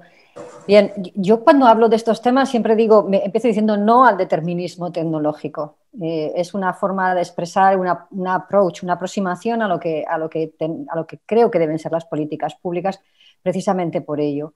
Porque creo que no debemos asumir con carácter acrítico, crítica a la tecnología, creo que eh, lo que nos diferencia, esto no es mío, esto es de Briljonson, pero lo que nos diferencia a los humanos de los caballos cuando perdieron ese poder que tenían como fuerza productiva es que nosotros tenemos la capacidad de la deliberación pública, la capacidad de la toma de decisiones democráticas sobre cómo queremos que impacte la tecnología en nuestra vida y en nuestros trabajos también. Así que lo primero es tener una aproximación certera sobre, sobre eh, que somos nosotros los que vamos a decidir los impactos que tenga la tecnología en nuestra, en nuestra sociedad y en nuestras vidas a través de los procesos democráticos. No significa parar la tecnología, la tecnología significa tomar conciencia en el debate público de que está aquí y de cuáles son las políticas públicas que podemos, con las que podemos afrontar esa situación. Son muchas, pero para mí hay tres eh, que son las más importantes antes de llegar al mercado de trabajo. La primera es la ciencia, la inversión en ciencia la inversión en ciencia e innovación en tecnología. No generaremos eh, eh, transformación tecnológica si no invertimos, sino como sociedades no invertimos en ciencia. Y aquí la inversión en ciencia puede ser el nuevo el nuevo efecto que haga que haya países muy avanzados y haya países muy poco avanzados. Es decir, las, desigualdades en la inversión en ciencia pueden provocar nuevamente fuertes desigualdades en función de los países en los que nos estamos, nos estamos moviendo. Antes fue la industrialización y hoy es la inversión en ciencia, reclamar inversión en ciencia. En segundo lugar, preparar a la fuerza de trabajo para esta nueva realidad, que no es el futuro, que es el presente, ya está aquí. Eh, nuestros, eh, nuestros teléfonos, nuestros computadores están ya eh, impactando directamente en nuestra vida y en nuestros puestos de trabajo. Muchos de nosotros estamos ya trabajando desde nuestro domicilio y lo que ha cambiado radicalmente nuestra forma de ver el trabajo. Muchos de nuestros teléfonos están haciendo que prestaciones que antes asumíamos a través de trabajadores que eran pagados, ahora las hacemos nosotros y son trabajo de consumo trabajo no pagado. Así que eh, eh, preparar a la fuerza de trabajo para, para la tecnología significa revisar nuestras políticas educativas y nuestras políticas de formación. No, no conformarnos con decir viene la tecnología y no estamos preparados, sino preparar a la fuerza de trabajo que tenemos, a la que ya está en el mercado de trabajo, pero a la que viene detrás de nosotros a través de la política educativa y la política de formación, para la nueva realidad económica y para la nueva realidad productiva, que no significa solo estudiar matemáticas o estudiar ciencia o estudiar tecnología, que también significa estudiar humanidades, porque lo decía muy bien Eduardo, lo decía fantástico Eduardo, necesitamos pensamiento crítico, necesitamos pensamiento abstracto y eso no lo dan solo las matemáticas, sino que lo dan fundamentalmente las humanidades. Pero tenemos que revisar cómo estamos educando y sobre todo cómo estamos formando a los trabajadores y a las trabajadoras. En muchos países hay procesos de formación, en otros no los hay en absoluto. Creo que la formación de la población trabajadora debe ser una política de primer nivel para la preparación a lo, que, a lo que viene. Y en tercer lugar, y también antes de llegar a las instituciones del mercado de trabajo, rentas. Rentas. Protección social, por lo tanto. ¿eh? protección social. Porque eh, por muchos esfuerzos que hagamos en formar a la población trabajadora, habrá siempre personas que no, no lleguen a la nueva forma de producir o a la nueva forma de trabajar que, que puede establecer la tecnología y esas personas no podemos dejarles atrás. Y, por lo tanto tenemos que eh, conseguir, porque si no crearíamos sociedades bipolares, ya las tenemos, pero agudizaríamos la polarización, la polarización social y aquí el papel de las rentas es fundamental, el papel de la protección social, si lo hablamos en su conjunto, es, fundamental. Yo soy de las que piensan que todas las personas que no tienen un trabajo deben tener una renta para subsistir. Y esta renta puede ser a través de un debate sobre la renta universal, que está muy presente en todas nuestras realidades, pero también a través de debates sobre una renta básica o sobre un modelo de protección social que genere una renta eh, de supervivencia para todas las personas de manera universal y de manera socialmente, social, económica, pero sobre todo socialmente sostenible. Tenemos que pensar que el empleo es hoy la eh, principal fuente de canalización de la distribución de la riqueza que existe en la actividad económica. Si el empleo es menor como consecuencia de la tecnología, pero sobre todo si el empleo es distinto como consecuencia de la tecnología, tendremos que pensar en un modelo alternativo de distribución de la riqueza y a mí no se me ocurre mejor modelo que la protección, que la protección social, que los distintos elementos de distribución de renta a través de la protección social. Y luego ya hablamos de instituciones del mercado de trabajo. Allí hay una playa de, políticas, pero antes de llegar a eso, para prepararnos para esto, inversión en ciencia, formación, educación y rentas para hacer la transición más justa de lo que es en este momento y no crear sociedades eh, de ganadores y perdedores del proceso tecnológico. Muchas gracias, muy interesante. Eh, sobre todo esta, esta consideración sobre eh, la necesidad de garantizar la seguridad de los ingresos de todas y todas me parece que es una discusión que se está planteando hoy día a la luz de todo lo que se ha hecho por parte de los gobiernos en, el impacto de la pandemia, todos esos bonos, todo ese subsidio a la planilla.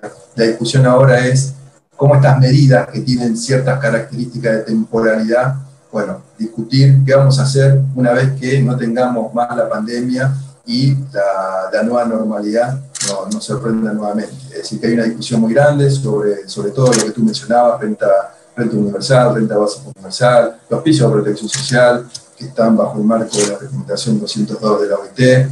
En fin, una discusión muy presente, muy actual y que sin duda seguiremos eh, conversando sobre eso. Eduardo, me gustaría tener tus comentarios también a la, premisa.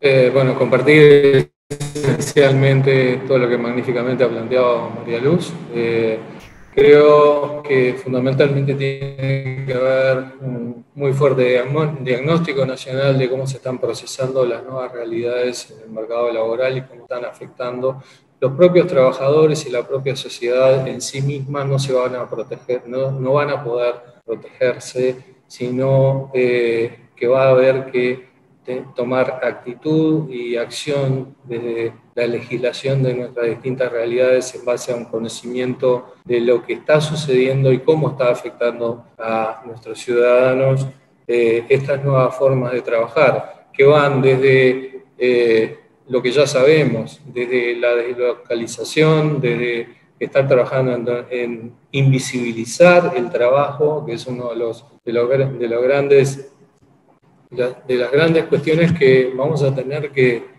que, abordar, es decir, porque antes uno tenía un servicio visibilizado y sabía que se prestaba en tal lado. Hoy, y pongo por ejemplo una de mis hijas, que es economista, que estaba trabajando en una gran firma, ahora trabaja desde su escritorio en casa. Digo, entonces, en, en realidad eh, pasó de estar en una plantilla que era observable, controlable, pasó a estar en un espacio donde su trabajo, su presencia está invisibilizada, su horario eh, ha sido arbitrariamente ampliado y es ella la que tiene que estar poniendo los límites a su empleador y de alguna manera también se ha afectado la remuneración en función de, eh, obviamente, una decisión arbitraria de decir, bueno, ahora eh, como estamos en problemas, tenemos que, bueno, en realidad, si estamos en problemas, ¿cuáles son? ¿Por qué afectan y cómo tenemos que afectar la remuneración de, de ese trabajador? ¿Cómo tiene, ¿Cómo tiene que ser el horario y las condiciones de trabajo de esta nueva realidad? ¿Cómo tiene que, eh, de alguna manera, engarzarse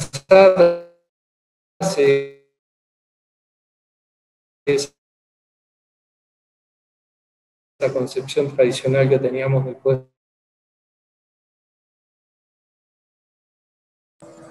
Te estamos perdiendo, Eduardo.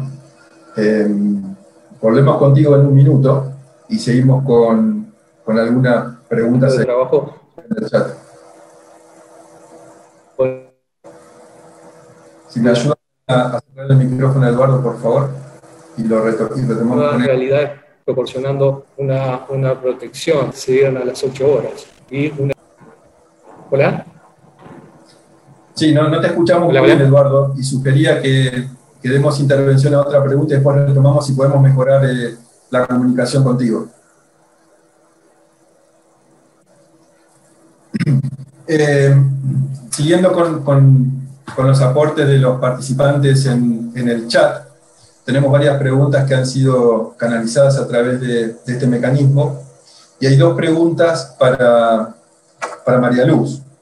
María Luz, eh, tenemos una pregunta de Janine Berg, a quien seguramente tú conoces, y ella textualmente pregunta, en referencia a las plataformas en línea, y por ejemplo AMT y Workana, el desafío jurídico es mil veces más complicado que por el trabajo en apps entrega, choferes, etc. La pregunta es, ¿cuál estrategia sugerirías para asegurar protecciones para estos trabajadores, tanto en el ámbito de la seguridad social como en otras áreas como la garantía del salario mínimo? Tal vez si, también puedas explicar eh, en las plataformas en líneas eh, qué tipo de plataformas son estas dos que ella ha mencionado mucho mejor porque la audiencia seguramente no está familiarizada con, con estas mismas. Y otra pregunta de Mónica Recalde, te traslado las dos. Ella dice, Mónica Recalde es la directora de Seguridad Social del Ministerio del Trabajo en Paraguay. En el mundo de las plataformas, no solo está la relación entre la plataforma digital y el trabajador, sino que también existen emprendimientos que usan la plataforma digital. Ella totalmente pregunta, ¿se ha pensado en España la responsabilidad subsidiaria de estos emprendimientos respecto a la protección social de los trabajadores? Te traslado estas dos preguntas, María Luz. Eh, retomamos comunicación con Eduardo y le pido al equipo que, que trate de mejorar eso si se puede. Gracias. Bien, eh, bueno, qué, agradable sorpresa que Janine Berg y que Mónica Recalde estuviera entre los, entre la, entre, estuvieran entre las asistentes, dos grandes, dos grandes especialistas en esta materia, en la materia de las plataformas digitales y, a las que tengo, por las que profeso mucha admiración. Así que estoy doblemente honrada en, este, en este seminario.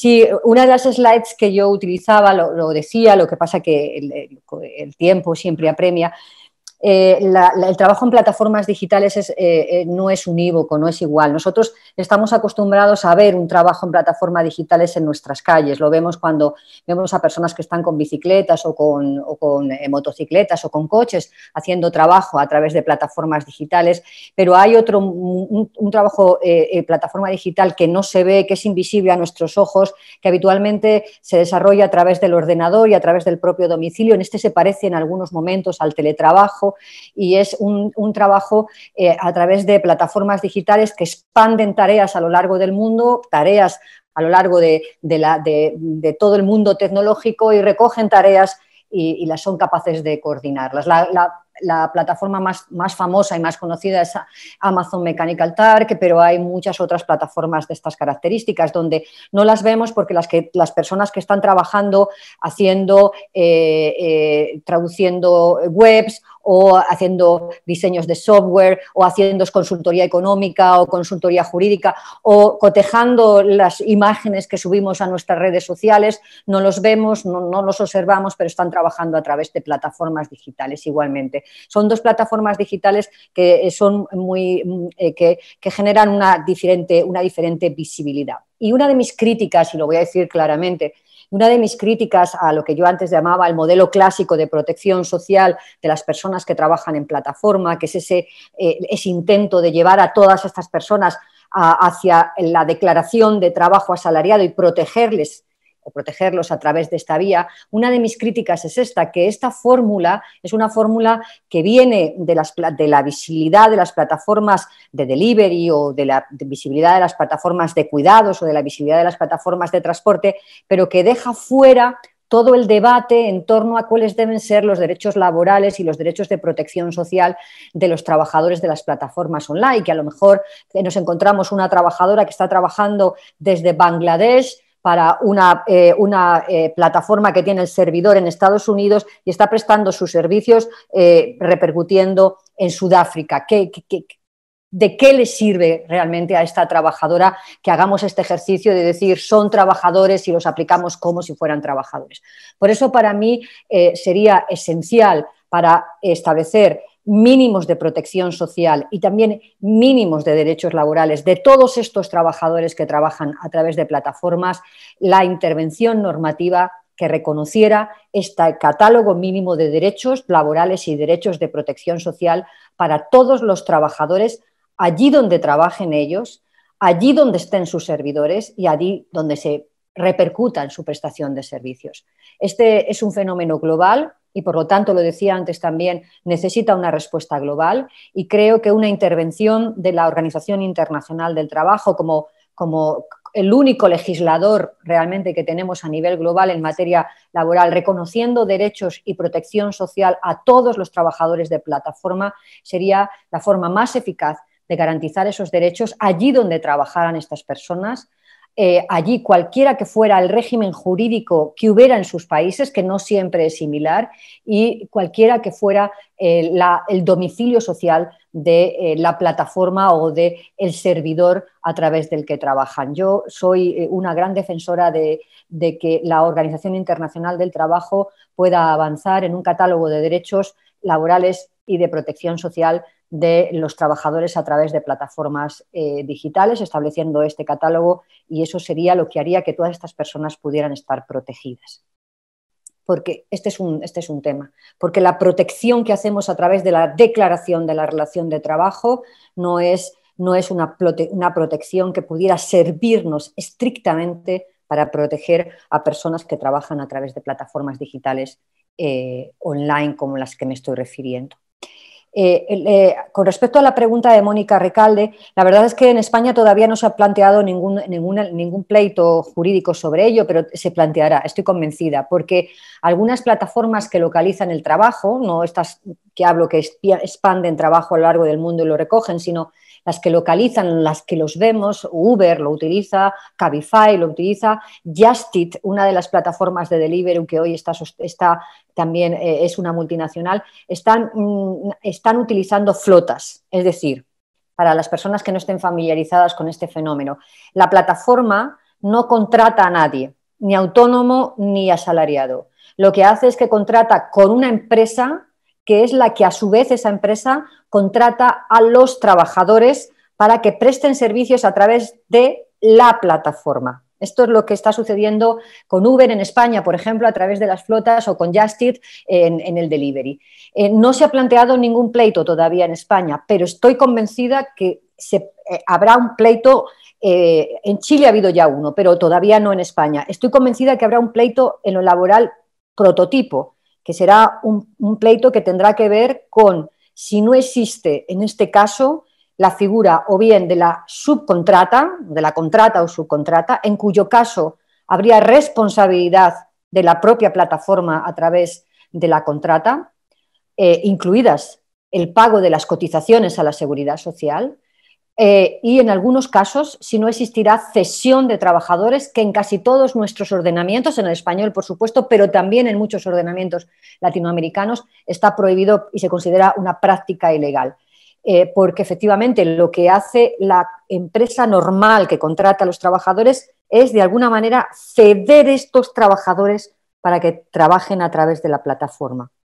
Es un tema muy jurídico que se está planteando en algunos ordenamientos, eh, pero que, va a provocar conflictos jurídicos, estoy convencida, y que una vez más es que es eh, la idea de que haya una empresa, como una especie de empresa pantalla que contrate trabajadores para que trabajen para las plataformas digitales. Jurídicamente esto se llama cesión ilegal de trabajadores y, por supuesto, la plataforma tiene que asumir la responsabilidad frente a la cesión ilegal de trabajadores siento este excursus jurídico de último modelo, pero la pregunta de Mónica era, era muy jurídica. Eh, muchas gracias, María Luz. Eh, muy concreta tus dos respuestas y creo que, que sí, en los dos casos eh, todos hemos aprendido mucho respecto de, de estas operatorias y de estas nuevas formas de relación entre la plataforma y el beneficiario final a través de intermediarios directos, como esas personas independientes, asalariados o independientes económicamente eh, dependientes, pero también a través de otras empresas, como tú lo has mencionado. Me dicen que, Eduardo sigue con algunos inconvenientes técnicos. Eh, sí, Eduardo. Sí, entonces me gustaría trasladar una, una, última, una última pregunta que tiene que ver eh, con un tema de aplicación específico en España, fue formulada por Carlos Torres, quien es el director nacional de afiliación y cobertura del Instituto Ecuatoriano de Seguridad Social. Y básicamente lo, lo que él está planteando es eh, a Luz, pero quisiera también trasladársela a Eduardo, eh, teniendo en consideración el caso puntual de Uruguay, y es, si pudieran decidir en este momento, o a la luz de la experiencia, del conocimiento y de la práctica y realidad nacional, eh, ¿Cuál sería el mejor camino para dar protección a los trabajadores de las plataformas digitales? Y esto último lo voy a agregar yo y también tomando algunos elementos o comentarios de otras personas en el chat. ¿Y ¿Cuáles creen ustedes que debería ser la fuente de financiamiento? Sobre todo porque eh, la mayoría de estos trabajadores tienen, no digo ingresos de subsistencia, pero estamos ahí, tiene que ver mucho también con eh, la carga horaria que le dediquen, con la competencia, no todas las aplicaciones o plataformas permiten que el trabajador esté vinculado 8, 10, 12 horas, a veces son más, a veces son menos, y hay restricciones para tampoco promover la esclavitud laboral. Pero bueno, ¿cómo creen que debería ser esa matriz de financiamiento para garantizar esto que ustedes han mencionado de forma tan explícita, ¿no? que la seguridad social es un derecho humano fundamental? Y más allá de la legislación nacional, el ámbito de aplicación eh, legal, si la cobertura es obligatoria o es facultativa, es una discusión que nosotros también estamos apoyando como IT en algunos países para promover una afiliación obligatoria y equiparar a los asalariados con el mundo de los cuentapropistas, pero muchas veces nos topamos con estas restricciones, con estas barreras o con este boomerang que viene desde el gobierno, desde los ministerios de Economía y Finanzas, en el sentido de, bueno, pero los ingresos son bajos, la contribución es mínima, y no hay una relación adecuada entre eh, lo que necesitamos para cubrir toda esta gama de contingencias a la que está expuesto un trabajador, enfermedad, vejez, invalidez, muerte, accidente de trabajo, carga de familia, desempleo, las usuales ¿no? en los sistemas de seguridad social tradicional, basadas en el seguro social muchas veces, salvo en España, por ejemplo, donde la salud es eh, universal pero financiada con impuestos, al igual que en Brasil. Pero digo, ¿Tienen alguna posición sobre por dónde desandar el camino del financiamiento también? Le paso primero a María Luz y vamos a volver a, intentar con, con Eduardo por interno.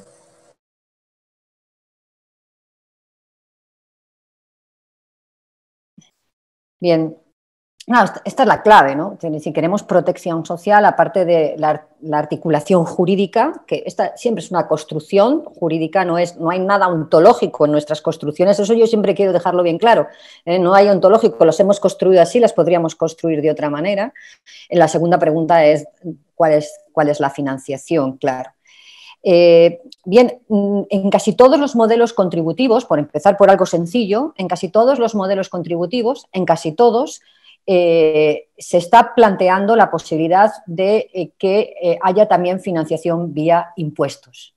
Es decir, que sin modificar el modelo de seguridad social que hoy tenemos, que es un modelo continental y el modelo latinoamericano en su mayor parte un modelo contributivo, donde se contribuye y se percibe basado en, lo que llamamos el principio de mérito, que dadas las necesidades de protección social más, elevadas que pueden existir en este momento, haya una parte de los impuestos que se destine también a la caja de la seguridad social para financiar la seguridad social. No, es un invento, está hecho en Francia, por ejemplo. En Francia, al lado de las cotizaciones sociales de empleadores y de trabajadores, hay un impuesto, además un impuesto específico que se paga, el 1% específico, que se paga para financiar el modelo de protección, de protección social.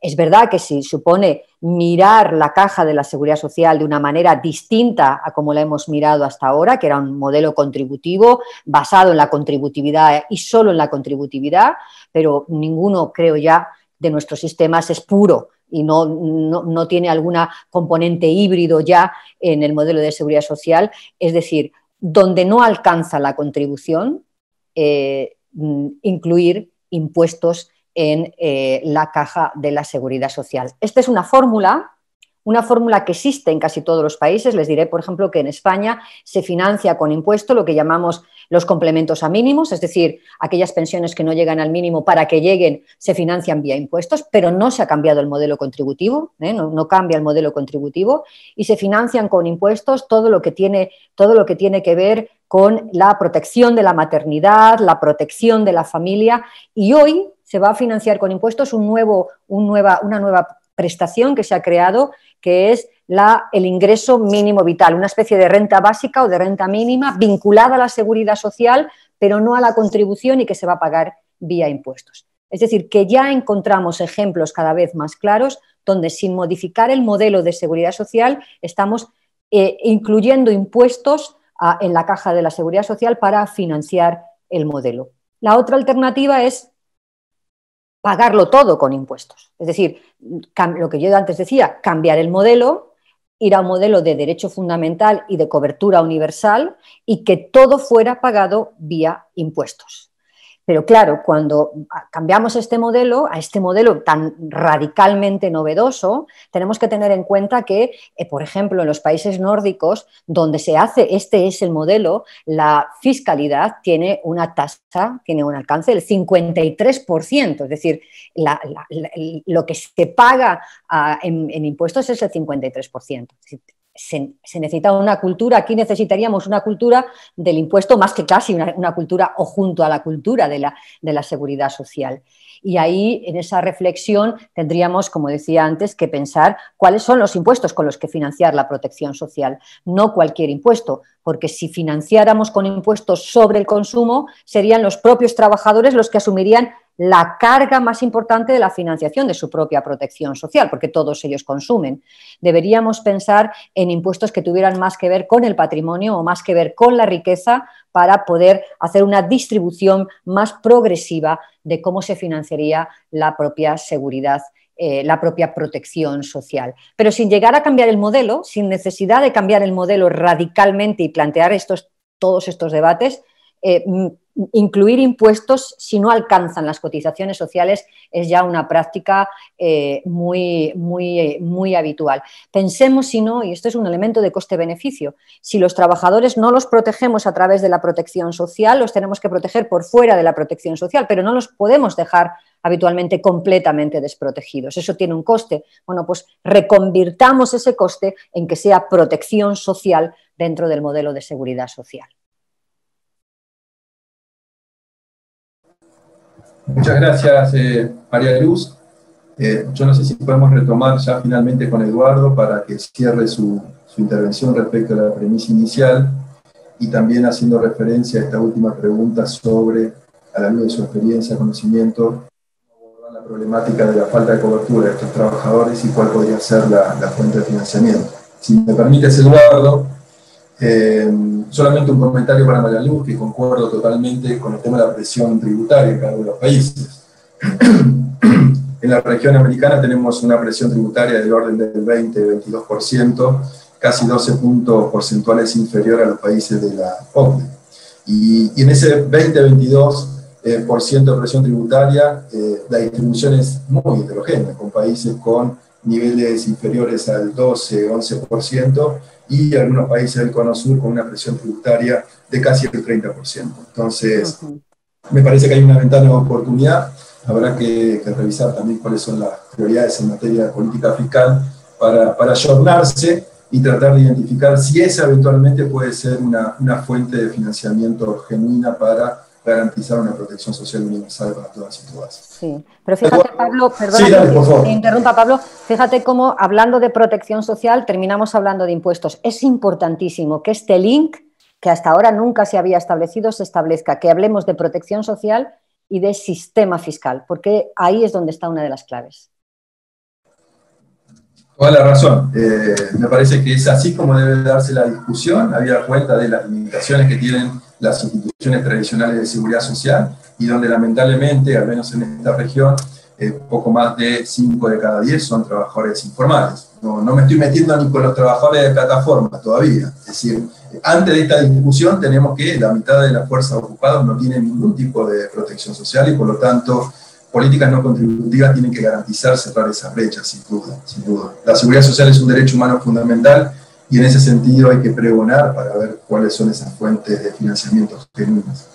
Gracias, María Luz. Volviendo a Eduardo, eh, además de, de esa premisa de cerrar la pregunta, la primera pregunta, y avanzar con esta última sobre, a la luz de su experiencia y conocimiento, cuál sería su abordaje para promover la cobertura hoy en Uruguay de estos trabajadores y cuál podría ser el financiamiento, eh, no me quiero equivocar y me corrige si es así, Eduardo, pero también estaría bueno que presentes esta experiencia que tiene, creo que el departamento de Maldonado con, Uber, o que ha tenido, eh, porque me parece que es interesante. Eh, no por la relación laboral que finalmente se formalizó, sino por la mecánica que se ha implementado. A ver, Eduardo, si le podemos escuchar bien, por favor. espero, espero, que me puedan, me puedan escuchar bien. eh, lamento estos inconvenientes tecnológicos. Eh, me tienta eh, tomar el guante que, que, dejó María Luz respecto a la necesidad de hacer un link entre las contribuciones a la seguridad social y los impuestos. Yo, yo creo que esto es hoy ineludible y también me tienta un poco plantear lo que es el actual esquema de financiamiento del sistema de protección social uruguayo, donde está compuesto por tres componentes, contribuciones especiales a la seguridad social, que son los aportes que realizan empleadores y empleados, pero también en nuestra eh, seguridad social eh, hay siete puntos, siete puntos de un IVA de 22% que están dedicados específica exclusivamente a la cobertura de seguridad social. Y si esto no fuese suficiente, eh, se prevé un esquema de inyección financiera adicional a través de una asistencia financiera del Estado. O sea, eh, esto un poco para reforzar esta idea eh, que planteaba María Luz y vos reafirmaba, Pablo, de la necesidad de establecer un muy fuerte link entre lo que son las contribuciones a la seguridad social y los impuestos. Eh, va a ser muy difícil eh, a nivel global contemplar la situación de los trabajadores y establecer mecanismos de protección y fundamentalmente de defensa si no se llega a un acuerdo global. Eh, un acuerdo global donde de alguna manera yo creo que acá la cultura esté pesada tal como hoy está empezando a pesar el acondicionamiento de determinado consumo de determinados bienes, si están certificados o no en función de la huella de carbono que están dejando o del grado de contaminación que está dejando. Yo sé que esto es muy difícil, es muy polémico y eh, que es eh, también a su vez extremadamente desafiante, pero creo que esta lógica de la protección social también debería caminar por este camino eh, basada en una cultura global en protección social, donde todos estemos de acuerdo de si estamos consumiendo servicios de trabajadores que no están cubiertos, bueno, esto no, no lo vamos a consumir. Creo que me parece que esto va a ser una, una cuestión bien importante, porque todo se resume a protegemos a los trabajadores o no los protegemos. ¿sí? Eh, respecto a lo que tú mencionabas, Pablo, eh, la irrupción de Uber acá en, Uruguay causó todo un revuelo, obviamente como ha causado este, en distintos países del mundo, y acá se terminó determinando la obligatoriedad de la afiliación, eh, particularmente Maldonado, como dependientes a través de una legislación específica. Eh, hoy los trabajadores de esta plataforma están afiliados al, sistema de seguridad social y tienen que estar aportando tal cual cualquier otro, otro transportista. Acá hubo un consenso político y una decisión de establecer una legislación específica para que los trabajadores que operen en esta plataforma sean reconocidos justamente como trabajadores. Me parece que eso también es un, un camino que nuestras sociedades tienen que ir eh, transitando, en los cuales eh, tengamos justamente la visión de eh, establecer mecanismos legales que protejan y regulen la actividad laboral de, que está, está dado por los nuevos escenarios. Vuelvo a que también tenemos los viejos pendientes. En definitiva, los viejos pendientes se vienen a trasladar a nuevos escenarios mucho más complejizados. Y yo creo que se cortó en el momento que yo estaba comentando que eh, eh, hace 100 años eh, se lograban las 8 horas para los trabajadores y un elemento disruptivo como es la tecnología hoy día en definitiva hace que ese logro que, del cual creo que estamos todos los seres humanos orgullosos esté, esté eh, eh, absolutamente en jaque. Entonces, yo creo que también, eh, más allá de las medidas que tomemos, tenemos que formar, formar en cultura. Ese es mi mensaje, Pablo y María Luz y estimados estimados participantes del webinar. Muchas gracias, Eduardo. Eh, muy claro también eh, tus apreciaciones, tus respuestas. Eh, sin duda que hay que avanzar sobre, entendemos así el OIT, a la luz de un último documento que hemos elaborado, en realidad se ha elaborado por el Departamento de Protección Social en Ginebra, sobre cuáles son las brechas de financiamiento y cuáles podrían ser esas fuentes de financiamiento para garantizar una cobertura universal a la luz de las garantías explícitas que promueve el piso de protección social seguridad económica a lo largo de todo el ciclo vital y acceso a servicios esenciales de salud. Pero me parece que, eh, resumiendo un poquito la actividad, eh, me parece que ha sido muy fructífera, que hemos dejado una, semilla que, que, va a ir eh, tratando de trabajarla, que va a ir. Me parece que los temas que hemos abordado hoy y la manera en que lo hemos hecho no es usual hacerlo, es un tema nuevo, al menos en estos países está la problemática de la disrupción no solamente de las plataformas y de la manera en que se actúa a través de estas innovaciones tecnológicas, sino también eh, cuál es el estatus de los trabajadores que están vinculados eh, con estas plataformas, con estas aplicaciones informáticas, sea directamente o a través de esas empresas intermediarias, como había mencionado perdón, eh, Mónica Recalde. Así que esta discusión va a seguir, no solamente a través de la colaboración de María Luz Rodríguez y Eduardo Méndez, sino también a través de otras colaboraciones, de otros webinars que el OIT tiene pensado desarrollar eh, para Ecuador, pero para la región en general. Son temas de extrema actualidad y una preocupación para el Seguro Social, para el Ministerio del Trabajo, para encauzar no solamente la relación laboral, sino eh, la definición de cómo capturarlos para que tengan protección eh, a partir de las distintas contingencias a las que se enfrentan. ¿no? Más allá de eh, la irrupción de, estas plataformas, es imprescindible actuar y aprovechar las oportunidades que nos impone todo este reto del futuro del trabajo. Cualquiera que sea la interpretación y el contenido que cada uno le ponga. Es decir, es necesario avanzar con un trabajo justo, inclusivo y seguro, un empleo pleno, productivo, es decir, aprovechar y promover esa ruta del trabajo decente que el OIT pregona a través de la aplicación de sus normas internacionales del trabajo.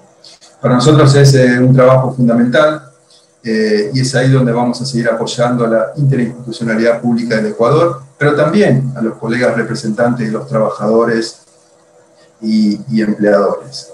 Quiero nuevamente agradecer eh, este esfuerzo, el acompañamiento y la excelente participación de María Luz Rodríguez, de Eduardo Méndez.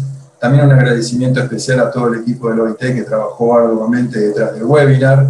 No quiero mencionar a ninguno para no olvidarme y después eh, pasar alguna factura, alguna vergüenza interna, pero todos, eh, todos, cada uno de ellos han participado en mayor o menor medida para que este webinar sea un éxito, pero fundamentalmente para que sirva para potenciar y profesionalizar la discusión en torno a la temática que tantas dudas y preocupaciones trae para, eh, o por su impacto en las instituciones del mercado del trabajo y de la protección social.